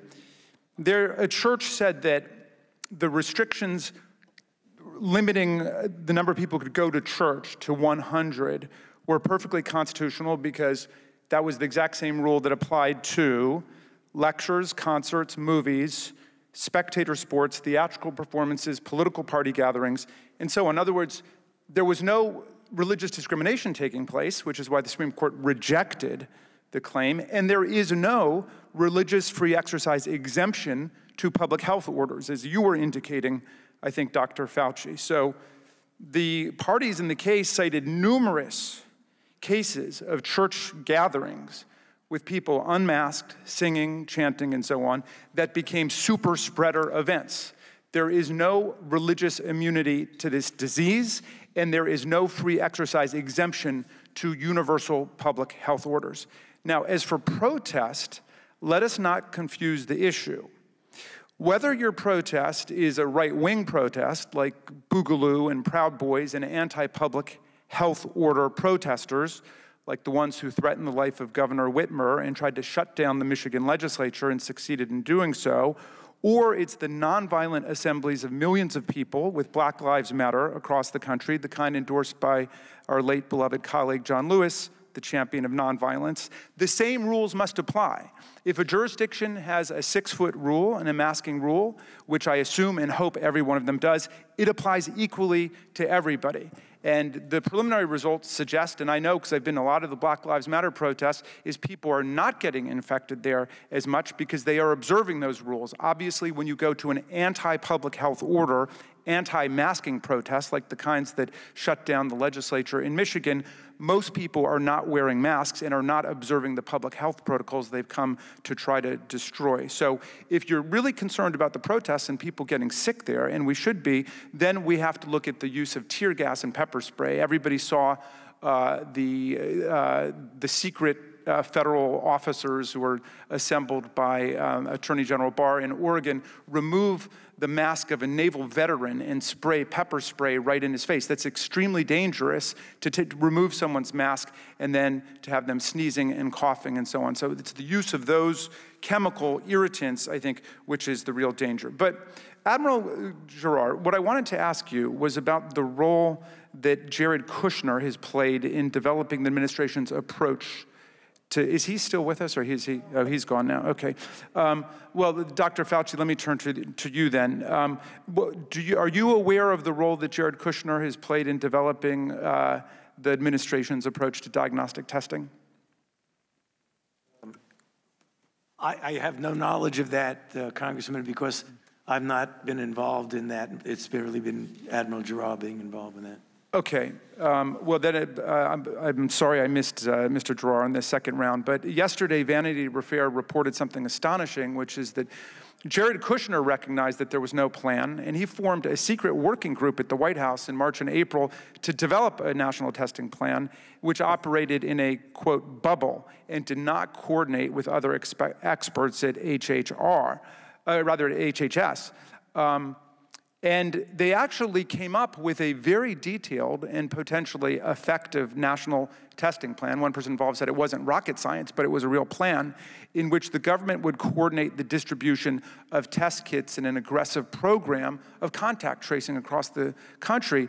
But the White House reportedly dropped the plan, according to this article, how Jared Kushner's secret testing plan went poof into thin air. Okay, the White House dropped the plan. Um, on the political logic that the outbreak was going to be limited to Democratic states. This is back in March in New York and New Jersey. And you remember there was a lot of talk about how this was a blue state disease, and there was somehow some kind of political or ideological immunity to getting it. So they thought it would be a better strategy just to pit the states against each other in that vicious free for all for equipment and materials, um, and then blame the governors when everything went wrong. And we've seen the shocking, devastating results uh, of just letting it go and not having a plan at all. With that, I yield back to you, Mr. Chairman. I thank the gentleman for yielding back. Um, I think we've finished our second uh, round of questions. Uh, and I would like to now yield to the ranking member uh, for any closing statement he might want to make. Thank you, Mr. Chairman. And again, I want to thank our witnesses for coming here, including uh, Dr. Giroir, uh, Dr. Fauci, Dr. Redfield. Uh, you're on the front lines, as well as the teams that are behind you, working to implement President Trump's plan to combat this virus. In fact, Dr. Giroir left to go address thousands of people who work under him. He talked about 7,000 deployments that have been made under President Trump's command uh, to have men and women in uniform going on the front lines to help at the state and local level. Uh, we've seen so much work being done in this plan, and I, I keep going back to it because I know some people want to deny that this plan exists. Of course, at the same time that they're criticizing components of the plan. You know, part of this plan, again, there's thousands more pages online. This is just a small part of President Trump's plan to combat the coronavirus. Part of the plan including stop, included stopping flights to China, which is Dr. Fauci tested, testified under oath, saved lives. That was President Trump's call. He got criticized from it. In fact, he got criticized from some of the very people who say that he doesn't have a plan, yet they criticize parts of his plan, and that plan worked and saved lives. Uh, I know, Dr. Fauci, you testified under oath about some of the other decisions that were made by President Trump, working in conjunction, in conjunction with you and the rest of the team, these respected, internationally respected medical doctors, that saved lives. Thank God President Trump keeps his focus on carrying out this plan every day while people are literally trying to disagree with it and then deny it exists at the same time. And so when you look at now where we are with Operation Warp Speed, and this is something that is so incredibly important, uh, working to find an actual vaccine for the disease. And again, Dr. Fauci, I know Dr. Redfield, you talked about this, but I appreciate you giving out the website. Again, over 250,000 Americans have now signed up to be tested for this virus. Might be one of the most tested trials for a new virus in American history. Probably the quickest time that we've been able to get a vaccine for a disease we knew nothing about even six months ago because China lied to us uh, because China still to this day is trying to interfere with our ability, while we're working feverishly to get the vaccine, China's working feverishly to try to steal the vaccine. We ought to have a hearing on that, Mr. Chairman. I know Ms. Walorski talked about that and brought that issue up. You know, when you look at the incredible work as Dr. Giroir is doing on testing to get those testing kits into nursing homes, that's part of President Trump's plan.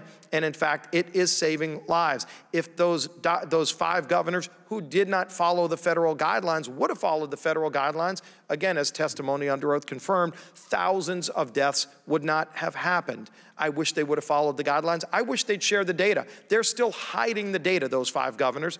We've asked them those of us on the Republican side, if just one member on the Democrat side, Mr. Chairman, would join us in asking those governors to share the data that they're hiding from the American people, they're hiding from the families, the sons, the daughters, the grandchildren of those who died in those nursing homes. They're hiding that data and they won't give it to us. They said they don't have to give it to us because not a majority of this committee has asked. I wish, Mr. Chairman, you'd join us in asking to get that data. What's wrong with asking for the facts? And so then you look at opening schools. You want to talk about saving lives, and this is one of those untold stories, unfortunately. There are 50 million plus children across America who are counting on us to get it right. The good news is the Trump administration has laid out a plan for how to reopen schools safely. You know, just right here, you talk about school administrators on the use of cloth face coverings. CDC suggests that all school reopening plans address adhering to behaviors that prevent the spread of COVID 19. They go into detail on all the things you should do, as we talked about, washing hands, all of that. You can socially distance, you need a socially distance. You can do it. In fact, you need to do it. But to say you can't do it is a cop out. This is America, for goodness sake. We put a man on the moon. You can follow basic guidelines. If you don't want to trust CDC, go to the American Academy of Pediatrics, for goodness sake, who put out really good guidelines for how to safely reopen schools. And they went further and said the danger to children. You're hurting kids by not reopening schools. As Dr. Redfield testified, the thousands of kids that aren't getting diagnosed with things like child abuse, which is happening, unfortunately, it gets discovered in the schools. That's not happening. The nutrition programs, the mental health programs, there are drug overdoses happening today that wouldn't be happening if those kids were going back to school. You have to get it done, and don't say it's because of money. You can't say it's because of money. Here's the every state in the nation's got money. We put over 150 billion out there. Do you know that based on this list about 100 billion dollars of money we in Congress appropriated, President Trump signed into law, Over 100, about $100 billion still available in every state, and this money, without changing law, can be used to provide all of those supplies that the experts said you need to reopen your school safely. It's all there for you. If you run out, give us a call, but the money is there. Don't use that as an excuse. We all owe it to the kids. If there's never been a better time to make the argument for school choice, for goodness sake, you've got some of these unions that are saying they don't want to go back to school. As Mr. Jordan pointed out, they're encouraging people to go to a protest where you're not socially distanced, but they say you shouldn't be able to safely reopen the school, but they want to take the money.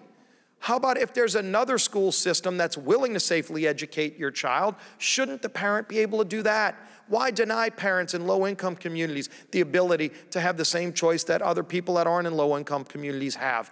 That ought to be on the table too, because there are systems all across this nation that have figured it out. Again, you don't need to reinvent the wheel.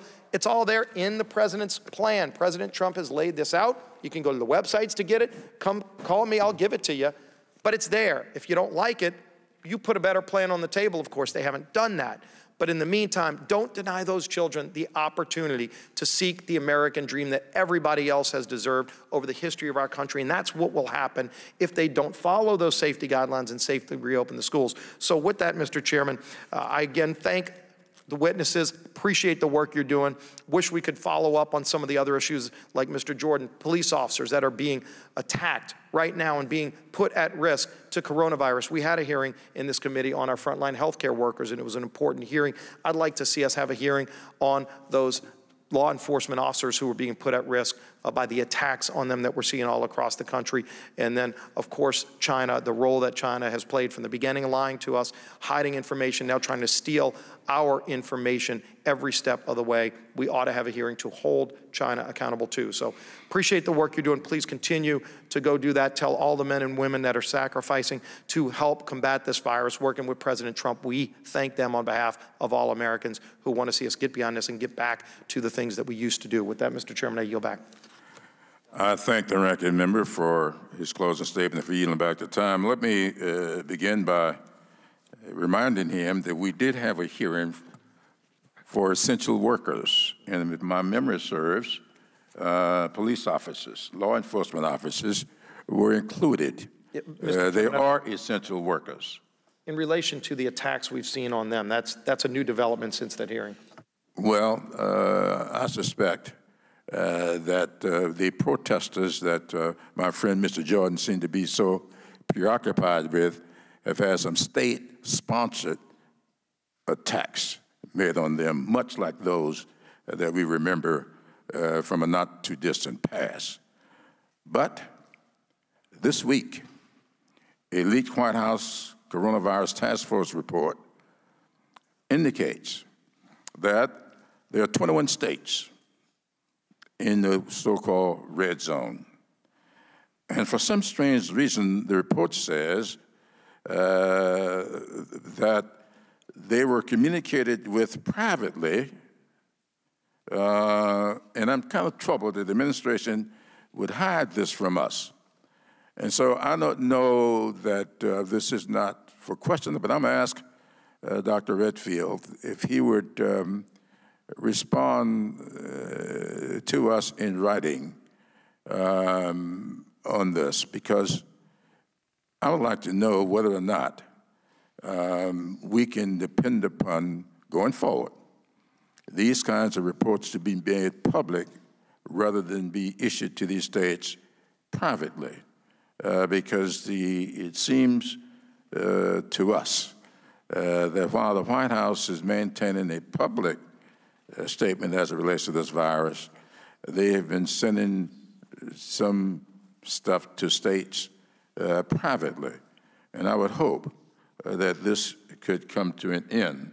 Now, I would also like to say to my friend who seemed to be so concerned about kids going back to school, Mr. Ranking Member, we all want to see our kids go back to school. I'm the grandfather of two school children that I want to see in school, though they are privileged enough to have the internet available to them. Their classmates, many of their classmates don't. And therefore, many of their classmates are not going to be allowed to go to the next grade. those same classmates are going to be subject uh, to losing another year of school. We all want them back in school. But I want to refer, uh, since we are talking about the American Academy of Pediatrics, they have followed us up with us, the American Federation of Teachers, the National Education Association, School Superintendents Association, they all joined together in issuing a statement on July 10th. And to me, here's what is operative. Public health agencies must make recommendations based on evidence, not politics. We should leave it to health experts to tell us when the time is best to open up school buildings and listen to educators and administrators to shape how we do it. I represent a congressional district that is about half and half what we might call uh, rural and urban, though even the urban part of my district will be looked upon as being rural by some of my friends here uh, on this panel from New York and uh, California. Uh, so maybe I just do have a rural district. All I want to say is it's different in rural America than it is in urban America. So I don't know that we can up here uh, come up with a one size fits all. We should delegate to the professional superintendents and the principals of these schools uh, to determine how best to reopen schools.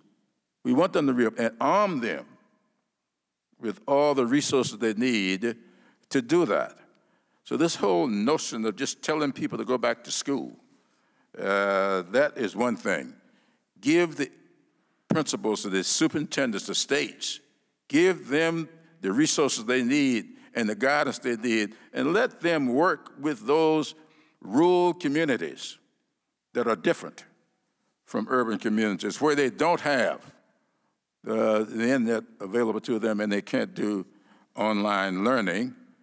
And they've got to be able to space. They got to have masks. I represent families that cannot afford to buy masks every day. Many of them can't afford to buy the books. So we ought not be putting that burden on them. And so we have resources up here that we ought to get out to these school districts. And I know, I hear from teachers every day who go in their own pockets to pay for material for their students. That's happening every day. And they're preparing to go back to school with budgeting to do the same thing. Now, before we close, I want to enter into the record. I have uh, another letter from the American Association of Medical Colleges, and I'm asking unanimous consent that this letter uh, be entered into the Fisher hearing, and without any um, objections to order. Now, I want to thank Dr. Fauci, Dr. Redfield, and Admiral Giroir for being here today.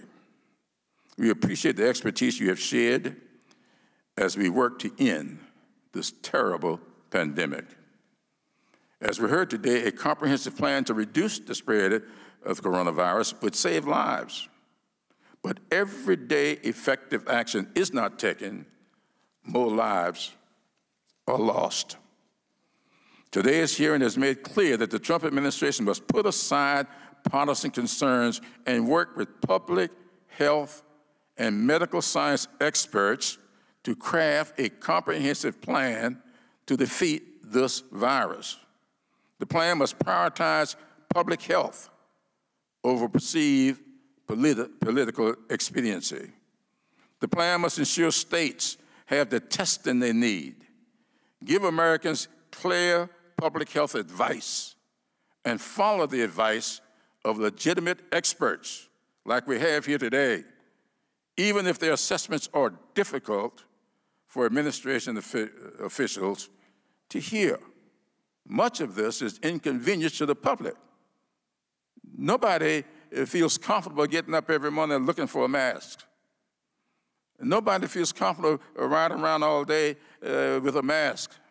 It's inconvenient for everybody. So it's uncomfortable for everybody. But the plan must include guidance and support for state and local governments, health departments, schools, and community organizations. I come from a part of the country where uh, no education would have been available to my parents had it not been for churches, because the state did not sponsor education for them. My father was not allowed to graduate high school because no high school was available to the students in the county he grew up in. And so we've got to bring local communities in this. The churches, temples, synagogues, all need to be involved in this. This is not excluding any religion. We are trying to bring religious organizations Uh, into this effort. And we've got to protect our students and our teachers and not go rush, rushing into reopening schools. Finally, the plan must address the grave inequities this virus has inflicted on minority communities. Our black and brown communities already faced health and wealth disparities before the coronavirus. That's what Mr. Velázquez was getting to in her last line of questionings. Particularly when we are dealing with this contagious virus. In the words of Dr. Martin Luther King Jr., in his letter from the Birmingham City Jail, which I happen to believe, I, most people may not agree with me on this, but the Bible to me is a timeless document. And I believe that King's letter from the Birmingham City Jail is a very timeless document. He said in that letter, injustice anywhere is a threat to justice everywhere. Dr. King also said, and I quote, in that same letter, time itself is neutral. You may recall he is responding to a letter that he had gotten from eight uh, non black ministers who said to him they agreed with him, but the timing was not right. King, in his response, says, Time itself is neutral. It can either be used destructively or constructively. And then he went on. More and more I feel that the people of ill will have used time much more effectively than the people of goodwill. This destructive virus, while it has no will, has used the past six months to spread more than 4 million of our fellow citizens. It spread to more than 4 million of our fellow citizens. To prevent more lives from being lost, people of goodwill, including those who are here today, I consider you to be among the people I respect most in our government. People of goodwill must use their time constructively to combat the virus much more effectively than it has been to this point irrespective of how many tests we may give, irrespective of how we may shape up to the rest of the world. The question for us is are we using our time constructively? People of goodwill must correct past mistakes, embrace the science, work together in a bipartisan way to defeat this grave threat to our country. And if I might quote Dr. King once more, the time is always ripe to do right. Without objection, all members will have five legislative days within which to submit additional written questions for the witnesses to the chair, which will be forwarded to the witnesses for their response. I ask our witnesses to please respond as promptly as you are able. And with that, this hearing is adjourned.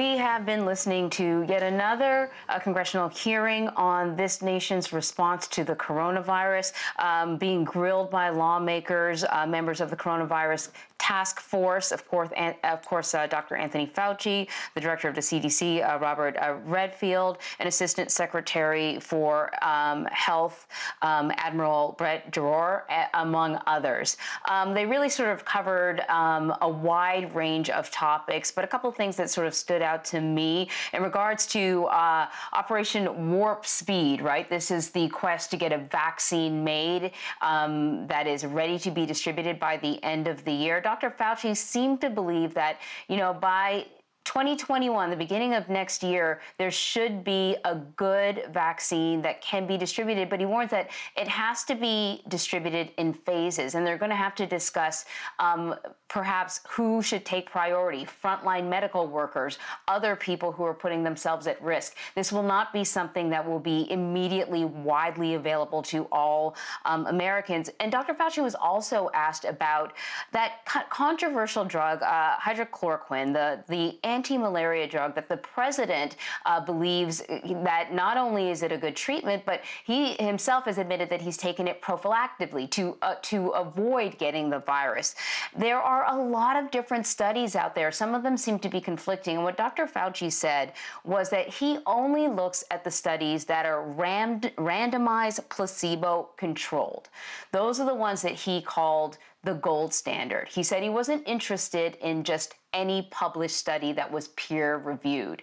And when he looks at the gold standard, he says that the drug does not show that it is effective, an effective treatment for the coronavirus. I'm sure that's not the final word on it because um, this is increasingly a controversial drug that is being used and in a very controlled setting. Um, but Dr. Fauci has long warned about sort of the widespread distribution of it, people going to their doctor and asking for a prescription because they think it might protect themselves. According to Dr. Fauci, that's not the case.